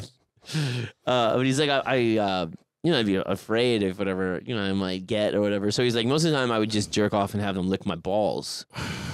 Um, I mean that he was just getting that's not a He was getting time. off on the the, seediness. Yeah, the yeah, seed- yeah, But it does sound kind of uh, depressing. I mean, it is. It it sounds that way, but for him, But it's if, it- not. if it's working, then Uh, you know, you know, more you- power to I him. don't want to. Uh, I don't want to yuck somebody's yum. I yeah, I don't Uh, wanna, I don't but he wanna- d- he was, I suppose, in that seediness being responsible. That's Oh, yeah. true. That's true. Yeah, that's Because- right. You never know what you're gonna get. Not only that, and you go like, there'd be a thing where I would do it, and um, they w- they would be you know um down there going to town, you know. Yes, you do. on the balls. Yeah, yeah, yeah, yeah. Speed bagging it, and um, Oh no. and he's like, I would I would keep uh, just like cash in my pockets because I knew they'd be trying to pickpocket me the whole time. and uh, you know, he's like, I, I, I, you know, I have my legs spread and then they'd be tight and they couldn't get in there. He's like, and then, Uh, but I would periodically loosen them so they could. Mm-hmm. And he's like, it was such you know little money. He's like, I, I like I had my stuff like locked up in the trunk, anything valuable, you know. and when you say that, you, you mean up the ass. Yeah. No, I do. Oh, I, that's mean, what I in the- mean. I mean, Okay, in the in the boot. Okay. When, and when you say that, you mean But uh, he goes, he goes. Uh, one time, this girl was like, just particularly unsubtle, uh, pickpocket. which probably turned him on more. Oh no, no. He told her after. Oh, He's like, he's like, listen. He's like, uh, you know, you got to get better at that because like you, you're gonna get hurt out here by some guy that just want his money stolen. yeah, right. And she's like astonished and looked at him. She's like, "You're a real freak, a true freak." Yeah. Like, like, like knowingly You being sick son of a bitch. But then, I mean, it's like it's like what like it's it's it's it- the first thing it reminds me of is like someone who was uh, the the best at something and then they return to a place no one knows who they are and they're it's but it but the the thing that I could describe the best with is like when Marlo at the end of the wire leaves detention and he goes to a corner and just like takes one corner. yeah yeah yeah, and then there's like do you know who I it's like he's back to Mm-hmm. his his place and the people don't know who he is and they're like what a freak and he's like Yeah. you don't even You know know. It, it was like I, I think uh, San Francisco provided enough crossover yeah to New York where he could be happy in California. Yeah, right, And that was right. kind of uh, his thing. Mm. Um, but yeah, he would get you know some of these girls um, into the custom videos, and he said there was one girl where in the video, like he's going, I think he's going down on her while she smokes crack, and like he's like occasionally burns his back with the pipe, and then tell- He, he nuts, of course. tells him to go into his pants and bring her more money. And he was just like, I, I he's like, I just loved the authenticity of it. Dude, he would love the Times Tom Sizemore video then, huh? Yeah. Wait, what is that? Tom Sizemore, uh, the actor who Uh-huh. does teach acting classes and has a cameo and has not responded to our request yet. He actually got back to me. What? He said he wants to do the video now. You're full of shit. Uh, yeah, yeah, yeah, yeah, yeah, he did. No, what? Yeah, I mean, I didn't hit him up since I found out like he touched a kid and stuff. Wait, wait, Tom Sizemore got back to you? Did you through, ask? through Cameo, it's like, it's like, hey, Tom Uh, Sizemore says he's ready to do your video now. uh, did you ask him where he was? Dude, No. you gotta get it. Dude, I don't care. You gotta get it. Please, for me. Have we told that story on the thing? No, I don't. know. I No, don't. but I dude- don't. On the I main don't. show? I don't know this story. Oh God! All right. One, let me preface it. Tom Sizemore had a he was very tight with um the Hollywood madam Oh, he dated her. uh dated her. Yes, uh, that's They did right. the madam. Yes. Yeah. And so, you know, he's just he's with hookers all the time, but he was also like smoking crack and doing speed and like Right. a sex tape was released where he is like fucking and he's in Saving Private Ryan, uh, uh, true romance. True Romance, Natural Born Killers. Like He's a great actor. in the '90s, he was huge. Yeah. Well, you Uh, don't forget but this about video is Tom him Sizemore. like being fucking like wow, like really gacked up and fucking a bunch of hookers and stuff and smoking, doing drugs on camera. And it's So- just crazy. I, I, you know, I had a falling out with a friend of mine, Rachel, and uh, she had told she had told me about a thing where uh, they were talking about the movie Heat on a podcast, Mhm. and um, the guys are saying like at the end, De Niro was saying like, "Hey, do you want to do one more bank robbery to the robbery crew?" Yeah, and you know what the juice is. And what? Just so. So, uh, d- uh, you know, Sizemore's character says, you know, well, if you're in, I'm in. And he's like, no, you got to make this decision on your own. And uh, he, then the guy's talking to the movie, they go, and then like Sizemore goes on to like blink like a thousand times. like a thousand, you know, it, it- it- totally believable that he's like a crackhead, you know? And, uh, and so, and he goes, well, for me, the action is the juice Hmm. and uh, we both thought that was funny. So, uh, you know, we had this falling out, whatever. You know, just like she like blocked me or whatever, and I was like, all right, maybe I can like send her a cameo. It really, I, want to apologize in style. Yes. Yes. So, Yes. so I paid Tom Sizemore two hundred dollars wow. to apologize to my friend That's great. that doesn't talk to me anymore. And uh, uh, I, you, you do a video where you tell him kind of how you want it to be, and then you also have like written instructions. Yes. Yes. So I was like, okay, tell Rachel just you know I I, I was out of line. I'm sorry. Um, you know I I love you and I miss you and I apologize. And um, also ask her ask her what she thinks of this name for an acting class for you, which is a joke Aaron made up, which is for me the acting is the juice. That's very good. Very good. And um, Because we want to take his class. yeah, yeah, yeah. a lot of drugs, a lot of. but so then I tell somebody that you know I was telling somebody they're like, oh, what do you got going on lately? I was like, oh, I got this Sizemore thing going on. the Sizemore thing. yeah, I'm, I'm waiting for a return and like, oh yeah, isn't he like you know uh, canceled or whatever? And I was like, no, why? Like, I mean, he smokes crack, but whatever, who doesn't? And you know, and uh, they're like, no, no, no, like he did something like fucked up. And so then I googled and I found out like he was he was asked to leave a film set in like 2017 because he touched an 11 year old. Uh, And I was like, I just given him two hundred dollars. oh boy. you know what I mean? I just thought he was boy. smoking crack. you know? yeah. No. I mean, Like a normal like- person. Yeah, I was it's like, so I'm like, fucking shit. Now I'm gonna have this crack smoking kid touching, being like, ah, John, sorry. you know what I mean? Well, just send it to me, man. You know, but consider the source. but so, uh, Oh, I- I'll- but then like he didn't do it, and like it's very quick on on Cameo. If you don't do it, you you It get your expires. you get your money back re- Oh, real fast. okay. But then he got a message saying that he's down. Weeks later, it's like Okay. now he's ready to do it. He- I had no idea that he responded, dude. Hey, it was not long ago. Um, it- yeah, it was like um, Fuck. it was like, hey, he's ready to do that, and he came off whatever bender he was Yeah, on. yeah, yeah. He's But- just Or going. he's starting a bender. Yeah. yeah, yeah, yeah. So that's where it lays now. Well, we'll think about it. But uh, so yeah, um, anyway, that's that's side story. We're we're we're uh, uh, But anyway, so uh, Gillis has is, is fucking this woman in one of his videos, and she's smoking crack. It burns him. He's like, "Oh, it's so authentic. Go take money more out, more money out of my pants." Uh, yeah, yeah. He said, um, you know, he he's back in um with the riffraff at the bank, Uh-huh. and he likes that. I love being amongst the great. and, he, yeah, and yeah. he's and he's watching. He, was- he didn't like being in the merchant line. yes. He said, I, was- I was I was I felt skeevy about that. And- and and- there's something to that. yeah, yeah, and then once he was back in in in the riffraff line, he was like, "Oh man, you know, I was in a bank and I, I you know, I, everybody's waiting to cash a check, you know, and I uh turned to this girl behind me. and I was like, "Man, they're fucking treating us like slime," you know, and she laughed, and I was like, "Do you want to get paid to be treated like slime?" And she goes, "Sure." Wow. And he's like, these are the girls that would be in in the tiny San Yeah. Francisco apartment doing these kinds of gigs, uh, which were mainly custom jobs. Um, and so that you know he was he was doing that for a while, and um, Honesty will get you a long way. You know.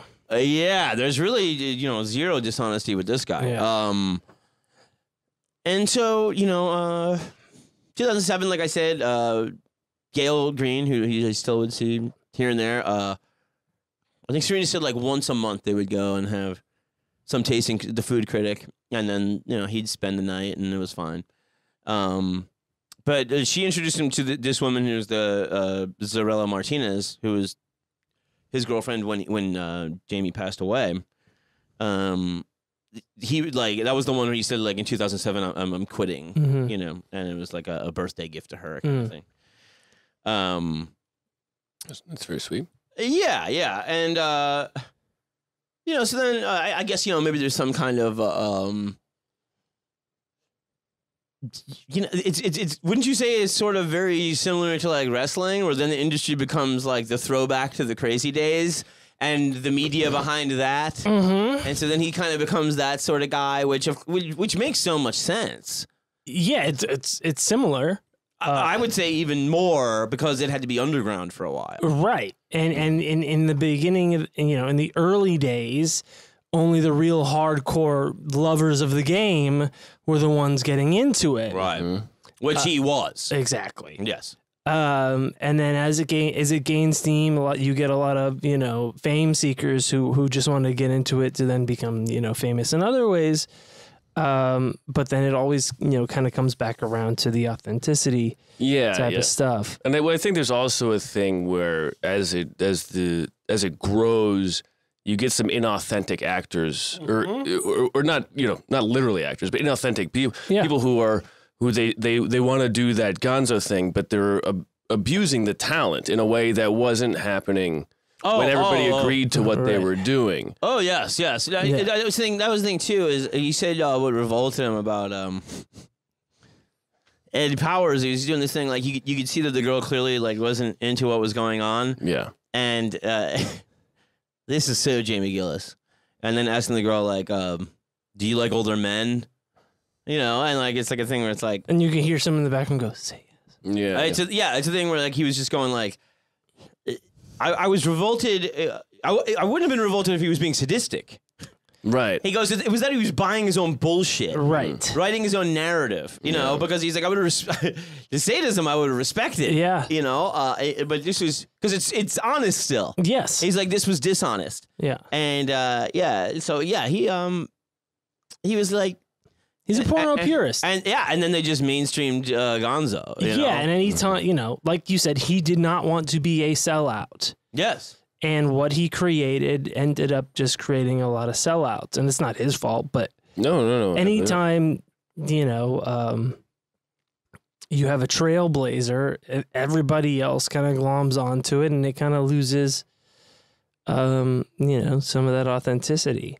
Yeah, And it, and it becomes its own thing, and then it just kind of gets diluted. And I mean, once as soon as it makes money, then the people who want to the, the people who want to make money start doing start it. exactly. and then that changes yes, how that people get into the and then the next part of that Yeah, is the people who go oh that's the easy way to make money and then it gets perverted more it's weird that the perversion gets perverted but Yeah. you know Uh, yeah, I was thinking you could see like immediately like Ed uh, became um uh, super business about it and, Mhm. and also wanted to uh you know, uh, become like factory farming it out. Mm-hmm. Like he's like he would like wake me up and be like, "Hey, we got to do shit." And it's like, No. I want to do this at my pace, man. Yeah, yeah. Like, Like, yeah, what are you doing? This? Are you doing this for the money or Yeah. for the actual?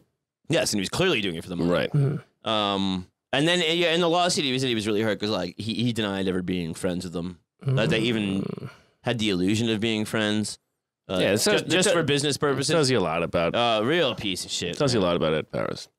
Um, but so he he uh, he wrote a book that says as of yet unpublished. Uh, there's another book called Pure Filth. Um, but Naked in Public is uh, still you know um, like I said, Ashley from the Rialto Report has uh, is the executor of his estate, but I guess like the rights to the book are somewhat um, murky uh, legally. But they they put out some some excerpts and um. It, they they said like it's obscene, offensive, warm, lovely. Uh, Can't put it down. they're, they're like, Yeah. they're like, it's one of the best books we've ever read. Yeah. Every time I put it down, my erection. And keeps is there right any is up. there any way? I mean, you can only just get excerpts at this point. To now, yes. Uh, I'm sure. Well, let's start a GoFundMe or something, man. uh, but the, the selection of quotes through it is um, from like Walt Whitman. He says, um, The dirtiest book in all the world is the expurgated book. Is the what? Uh, uh, expurgated. The uh, The just, dirtiest book in all the world is basically the censored book. right, of course. Right. Um, and then uh, from John Cage, if my work is accepted, I must move on to the point where it is not. Right. That's very Jamie Mhm. Gillis. Mhm. Um, I'm not a politician. I'm an artist. Depravity is part of the job description. Richard Nixon.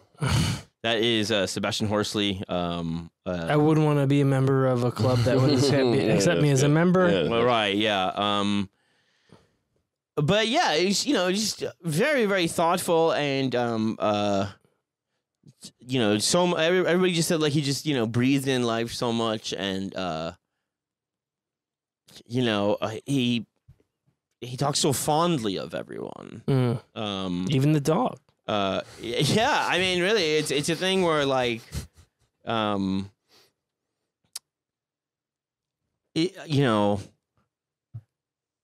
just such a strange strange strange life that hits all these things and um you know he didn't t- he didn't tell anybody when he was he was sick um What did he get? uh melanoma Mm. um Well, he loved being inside so much. Yeah. And then when he went outside, No good. um just wise to roll those windows up. uh so i want to read these these last couple of things um that are towards the end Mm-hmm. April 23rd, 2009. I find it difficult to write the words because the acknowledgement will make it even more terribly real. But I was told this week that I have a very serious rare cancer that will kill me kill me in the near future. Mm. So that's it. Maybe I'll write some more, but tomorrow I go to see my cancer specialist at Sloan Kettering for the first time, and he's going to take a look up my ass and figure out how long I have to live. I've been told that my biopsy says I have melanoma of the anal mucosa. If you want to look it up, Oh shit! it's uh, Shakespeare's birthday. By my calculations, I've so far survived about 13 years longer than he did. So I might well ask, who the fuck am I to survive Shakespeare? I'm supposed to take two enemas this morning before my doctor's appointment. Funny thing, but I don't ever recall taking an enema either for fun or medical reasons. wow. sure enough, I was told about the Fleet enema, which is the same one used on porn sense before anal sex scenes. You could buy those at CVS. Hmm. I have this tumor that squeezes out of my anus with every bowel movement. Say that one more time. I have this tumor that squeezes out of my anus with every bowel movement. Oh god. I have to push it Holy back in after I wipe. It's a li- Oh, it's a little like getting fucked. Jesus Christ. So he had melanoma of the anal mucosa. So he had he had skin cancer on a place that never got the sun. Extremely rare. Literally where the sun don't shine. Yes. Mm. Wow. When the actor David Janssen died, a girlfriend of his was quoted in the paper as saying, "Time to him was like a holiday." I loved that thought. It seemed to express my philosophy of life perfectly. That we are all on a brief holiday from eternity. That our time Mm. in Ooh. itself is a That's really holiday good. from Damn. death and should be treated as such. That's great. That's really good. then, That's really good. yeah, dude. Um, letter to Neal uh, Cassady to Jack Kerouac.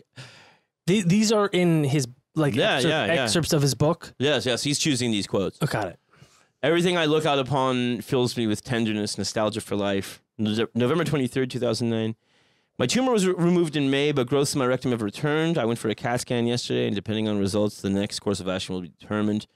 From what I understand, there's very little, if anything, that can, can be done. My partner Zarella is quite upset, of course, but I begged her not to tell anyone because I hate to spend whatever remaining time I have having everyone treat me like some pathetic dying thing. Mm. there will be time for that when things get really bad. Right. Maybe everyone will be indoctrinated from a very early age with the idea that we are all some pathetic dying thing. It might help people just stop worrying over little things. Death is really boring, common, and banal. What is rare is that a living individual arrives once, as far as we know, during eternity. That unique life is a miracle. Reminds me of a Whitman line I always loved. A mouse is miracle enough to stagger sextillions of infidels. So I guess my message is for the day, kids. My message for the day, kids, is don't make yourself crazy over anything and enjoy the miracle while it lasts. November 30th, saw my doctor today, and the CAT scan result ain't good. The cancer has spread. One of my doctors said that the way it was advancing was impressive, which I thought was a funny way to refer to it. but he wasn't smiling. Tomorrow I'm off to Cleveland to sign autographs at a convention called Cinema Wasteland. I decided to do it partly because it really does look like I'm on my way out of here, and I thought it would be a nice way to give the fans who really want to see me an opportunity to do that before I'm gone. I also thought it would be a bittersweet experience for me, sort of a waving goodbye to those wonderful people out there in the dark, Gloria Swanson and Sunset Boulevard, who think I'm a cool guy. Wow. I came across the following online shortly after I decided to go. I know there are there are members here at the AV Maniacs who are Jay Gillis fans. Here's your chance. Do you want to risk missing miss would you want to risk missing another Wasteland guest who unexpectedly dies months later? Mm. I guess it's a good time as any to end this book. I don't really think there's any need to drag it out and include the miserable details of my illness as I decline. I am planning to donate my entire body to medical research. I can therefore expect to be naked in public for at least a couple of more years, even after I'm gone. Brilliant. I won't, of course, be paid for it, but there is always the possibility that some pretty doctor will be looking on with interest. Or So- Ed Powers will take the money. So long, don't pity or mourn for me. Oh, I wouldn't have traded places with anyone. I hope you will be able to say the same. Jesus Christ. It's beautiful. It really is. Man was a you know he's, he was a studied man. He was a learned man. Ladies and uh, gentlemen, John is tearing up. I just didn't expect it to get me so bad. It's really yeah, good. It really is. It's uh, to to to look.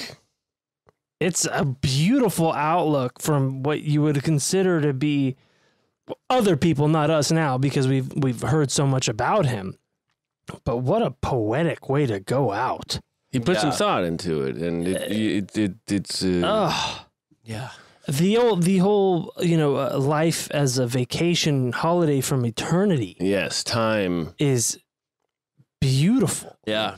You really don't expect it to happen when it starts with fuck yourself with shit. or or Well, and I, I guess that's kind of what happened to him at the end. yeah, yeah. A, tu- a tumor feels like I got to push the tumor in, and it feels like I'm getting. Kind of feels fucked. like fucking. Yeah.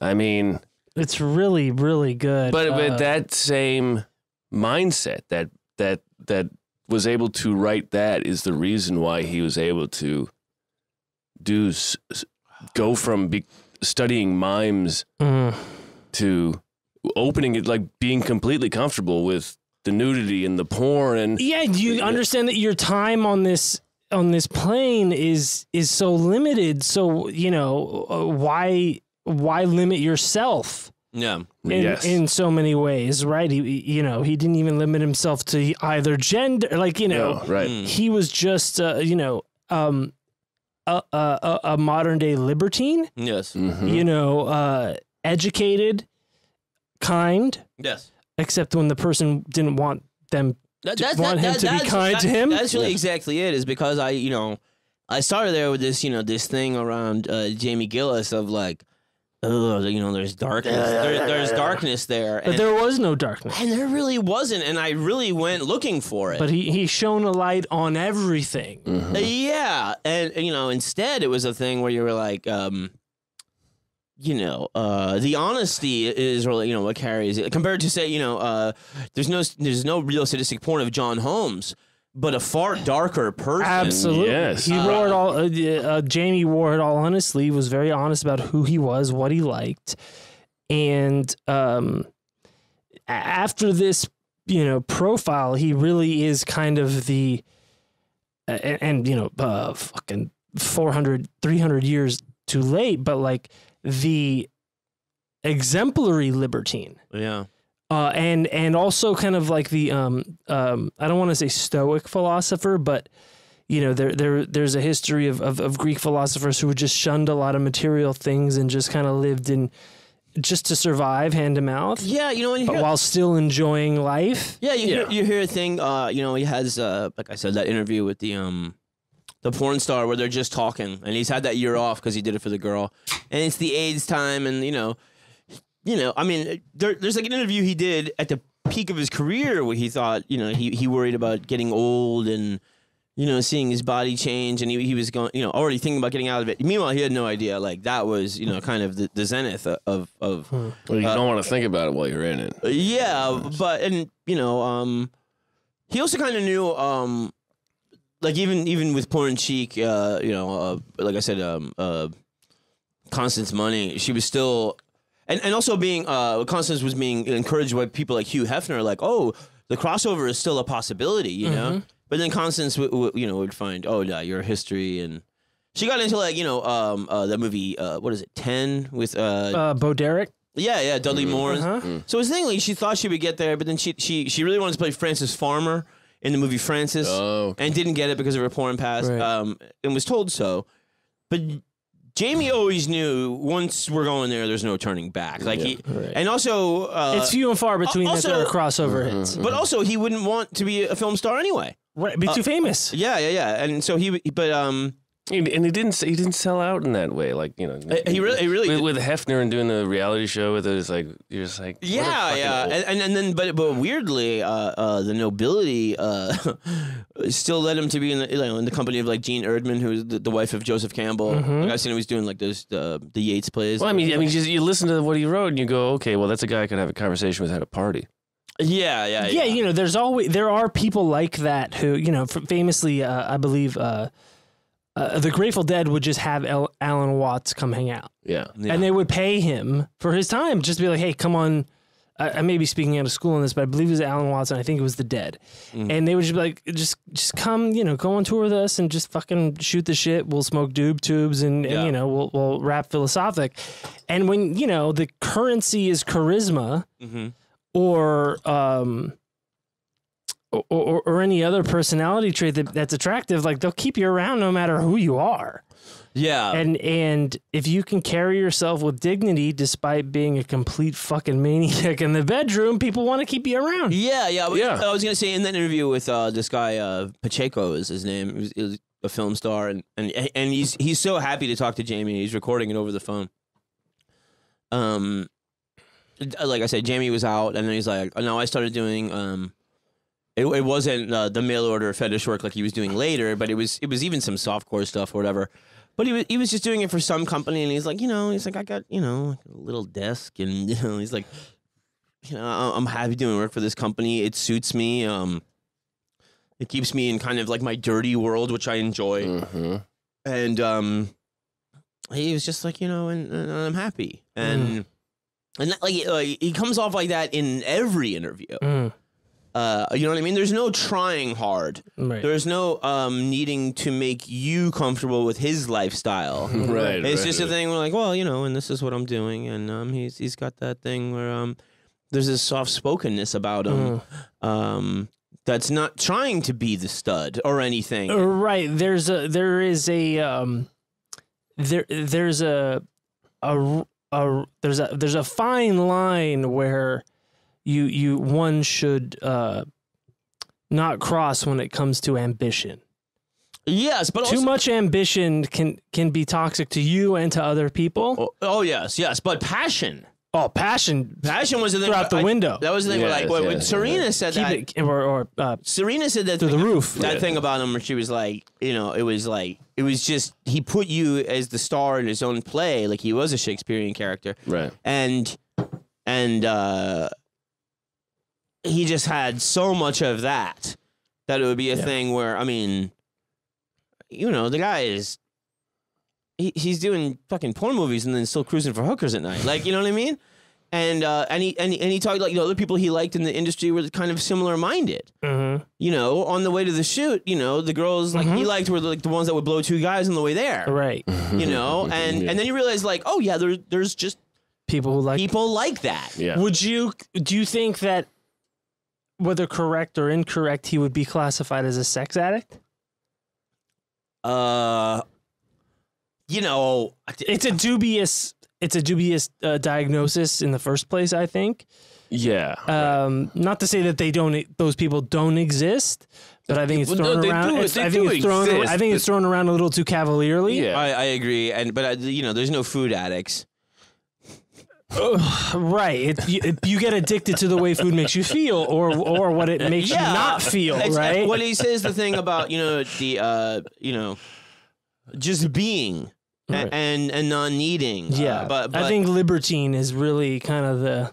I mean, the, the, the, the act of letting the hookers steal from him, but not making it obvious. Oh yes, yeah. Yeah. that- It's just like- being in the moment. You said like there there'll be people like that tried stealing my car while I was in the car with, Mm-hmm. and then we would have to go somewhere else and like you know um. He But- seemed very forgiving. You know. I, I, I, I think in I, I it, it, it there's a being with the Drex. I'm sorry, keep that thought. But the thing, like, of he said, I remember being in a cab and somebody seeing the caliber of hookers I was fucking with, and the driver said something like, um, "Man, you must, uh, you must really hel- hate yourself to go with one of them." And he just was like, "Yeah, there might be something to that." and it's, but it's a thing where like. I, I think he just saw a beauty in all of it. right. Yeah. You know, there's a, the, no pretense. Yes, Uh, I think. I think the. Um, I think the because he came from nothing. Right. Uh, I I think that they, maybe the best way to put it is that he had a lust for life and he lived for lust. Yeah, yeah. Uh, and for that, I admire Jamie Gillis very much. I know, man. It It really. was a great, great profile, John. Thank you.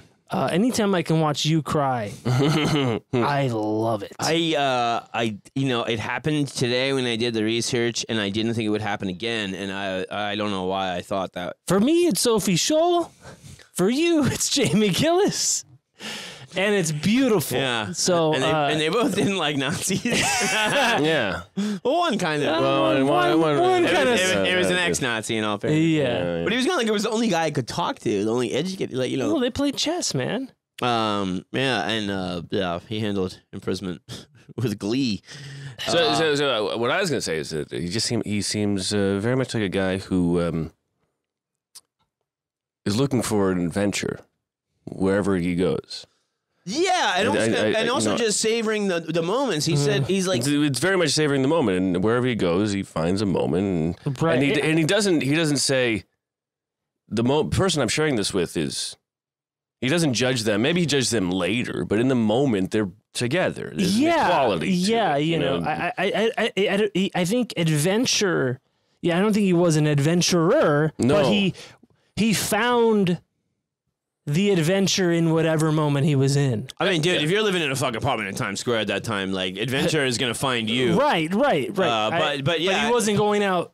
It's not like he, you know, uh, when I when I hear the word adventurer, I f- yeah, it's someone going out to sea. I think he just everything wasn't. You know, it, it's in the eye of the beholder. and Yeah, and- everything was an adventure, and- especially in Times And, Square. and, and perspective, Too, qu- two quick on things. He said uh, there was a girl, like you know, she was uh, blowing me or something like that, and, and he goes, uh, "Oh, uh, he said this thing. Um, uh, there was this one girl. She went on vacation, and she's like, I don't want you fucking around with anybody, but here's money for a prostitute." and, and he said, like, um, you know, uh, uh, you know, he's like, and I have one in mind, you know, Al- already like lined up, Yeah. and uh, but she said something like uh, when he was hooking up with her. She was like, "If you don't come in the next minute, I'm leaving either way," you know. and then he paid, and um, she was like, "Listen, you know, uh, just uh, you know, don't go with any of the girls out there. You know, you got to be careful." So he was like, he remembered being grateful for like the sweetness hmm of it, and um, uh, this guy Marc Stevens, who, who I didn't know, he was one of the biggest names of the day, a friend, um, who who uh, he could do uh, straight porn, but he preferred men, Mm. and um, he, he was like he was so vain. Um, he was like, uh, you know, he could only be uh, a predominantly gay man, you know. and uh, he goes one time on a film set, some some, some some light fell down and burned him, and and uh, and he was bruised, and uh, he he's like he like he was like in shock, and it was like he's like it was like creepy Mm-hmm. how in shock he was, and um, you know, I kind of went over to him, and I was like, Marc, listen, it could have been way worse. Could have been me. and he's like, and then, and then like Marc fell down laughing, and, and I and I I did too, and uh, and and um, we all did, and uh, and he goes, and then later when he was arrested for the uh, obscenity thing from the Long Island thing, he goes, I uh, Marc told me later he was one that gave the cops my address, and he's like, and I I didn't have any problem with it. He goes, when I think of Marc, I still smile, Ah. you know. Uh, wow, just, what a little Buddha of porn. Seriously. uh, but from the darkest reaches of it, like Right, as opposed yeah. you know, because you know, I but, mean, but it- not even the darkest. I mean, seeming, seeming. I mean, well, I mean, the, the uh, so- dog. There was a oh, dog I- involved, I suppose. Well, I mean, he didn't bring the dog. Um, but he knew the dog. uh, yeah, yeah. They used to. um, They used to hang out. They used to read comics together. you know, uh, Yeah, uh, but you know, uh, he did say uh, when it was on the prowl, it was you know the thing I was kind of derided in Boogie Nights. He was like he was really bummed out. Yeah. He's like, you know, uh, Burt uh, is not uh, Burt Reynolds. yeah. He's not really into it. It ends with somebody getting their ass kicked. He goes, for me, that Yeah. point in my career was such a point of pride. He's like, it really let me down. And he's like, and I was a fan of Anderson from Hard Eight before, and I was really looking forward to Boogie Nights. And he's like, Well, you gotta have there's there's poetic license, there's artistic yeah. license, and you have to have a narrative arc, and there has to be you know a yeah, rock yeah. bottom And, and, and stuff like that. Anderson said though, he's like, when I watched on the prowl, I found it depressing. So it was like all of that, you know, kind of got to him. personal choice Uh, or personal opinion. I mean, the guy. Oh, the- yeah, the- yeah. The guy, I'm, but I'm sure fucking PT and I, I'm guessing PT Anderson really loves Jamie Gillis. Uh, yeah, and and it was the thing too where it showed um when Jamie said uh the thing that ruined porn, he's like the more people that get involved, mm-hmm. the more you're appealing to everyone. Yeah. Mm-hmm. More homogenized it becomes. Mm-hmm. Videotape, And and when it's not for everyone, it's not for everyone. right? And that's okay. Yeah. Yeah. And uh, so yeah, when he kind of spoke, you know, later about like the internet porn thing, he was like, "Yeah, maybe it should have always been small screen for just whoever wants it and fulfilling more niche." Right. Because you will find that particular niche Yeah. Mm-hmm. you want. So there is, you know, it can go through this puberty stage of porn where it, you know, it's it's it's mass marketed and it, it gets Yeah. to this weird disrespectful gonzo stuff and it's just too corporate. But then uh, eventually it got to the point where anybody who's got a phone or a webcam can do whatever they want to suit whoever's needs. Mm. And for that, uh, it's better for it. It's Yes. taken it's taken the money and the power away from the big studios, and now you know you get an Mm-hmm. OnlyFans and you can put yourself through nursing school, Yeah, yeah, yeah. yeah, yeah. And so it, that was the thing too. It Was like you know, he which was, I am. he, he was like You're uh, nursing. he was like you know on set I could basically drown out uh, the cameras in my mind and, and and really go at it and just be a pervert. Yeah, and that was why I kind of succeeded. You know, um, there's only a few times where I felt like a job. You know, and you wanted to be like, if some of these people were your friends and it was too close, and now it feels like you're fucking your family and that sort of thing. Yeah, oh, yeah. brother. He's like one guy was like, just tell me how great I was the whole time. He's like, oh, it's fantastic. He's like, shut up. you know, but um, I think yeah, he he really just was like so happy to be doing anything perverted any time. And then if you like bringing it together with acting, hmm it was like a thing where like it, it was just I mean, the right man for the right time and then and then he kind of made the time. So, you know what I mean? yeah. I I I I, I think um, I have to at this point, um, uh, relinquish my title, and bequeath it to the pinnacle and perfection of perversion to Jamie Gillis. Well, you can you can be the modern version, The what? the modern version. You I, I, I, I stand on the shoulders of John. That's That's that's, right. exactly That's right. it. That's exactly it. Yeah. um, Great episode. Thank you. Great profile. Great two-parter. I, I honestly, I'd never. One of my favorites, honestly. I feel like I've heard his name, but I didn't know a single thing uh, One of my about favorites for at all. reals. Yeah. Um, Oh God, man, it got me so bad. it did, and uh, I'm gonna watch a Jamie Gillis one tonight. Yeah, yeah. We all gotta watch the opening of Misty Beethoven. Yeah. Yeah, I never heard of it. No, me neither. I mean, the Rialto Report. Also, I gotta say, uh, you know, despite calling him a, a weak English teabag, uh, Ashley uh, did do uh, uh, magnificent work that I drew from uh, a lot, and a lot of that came um, also from old things that Jamie saved and gave him. Right. Uh, these old uh, recordings and stuff. But the Rialto Report is um, an extremely fantastic database of uh, of old porn journalism, and uh, you know. Check it out. It's uh, yeah. I mean, like Absolutely. like I said, it is like old wrestling. yeah. Except now every old wrestler has a podcast. Mm-hmm. There's so much journalism about it, and not nearly enough with old porn. But luckily, between April and uh, and Ashley at the Rialto Report, man, they're fucking doing just absolutely incredible work. Um, I pulled from some other articles talking about his funeral and stuff too, but um, you really got to give it up for the Rialto Report. Yeah, no, they're great. Shout great. out to the Rialto. they're great. Yes, and I, I, I, I also would still. I, I reached out to Robin um, from Cinema Sewer. I still would like uh, to talk to him about Jamie because I think he has a unique uh, appreciation as just a uh, a sewer cinema fan. Um, but yeah, um, Great job. it did, I, Fantastic, I, I, I. I always kept still looking for like the the real darkness, but it, it never Yeah. Like even It was only consensual got gr- darkness, Yeah, it was just like Mm, yeah, consensual yeah. grime the whole way Which and zero interest in it being anything else. yeah. Um, Call me a freak. Call me a pervert. yeah, it's yeah. just something I enjoy. By the way, that guy, uh, the guy, the guy from Boogie Nights died uh, like last week. Mm, yes, Aw. that's right. Yeah, the Colonel or something like that. Yeah. Yeah. So rest in peace, Yes. and rest in peace, Jamie Gillis. Yeah. Rest in piss. Man, piss, piss it up. All right, I'm gonna say good night. My name is John Fahey. I'm Aaron Pita. Matt Brousseau. Good night, everybody. We love you. Good night.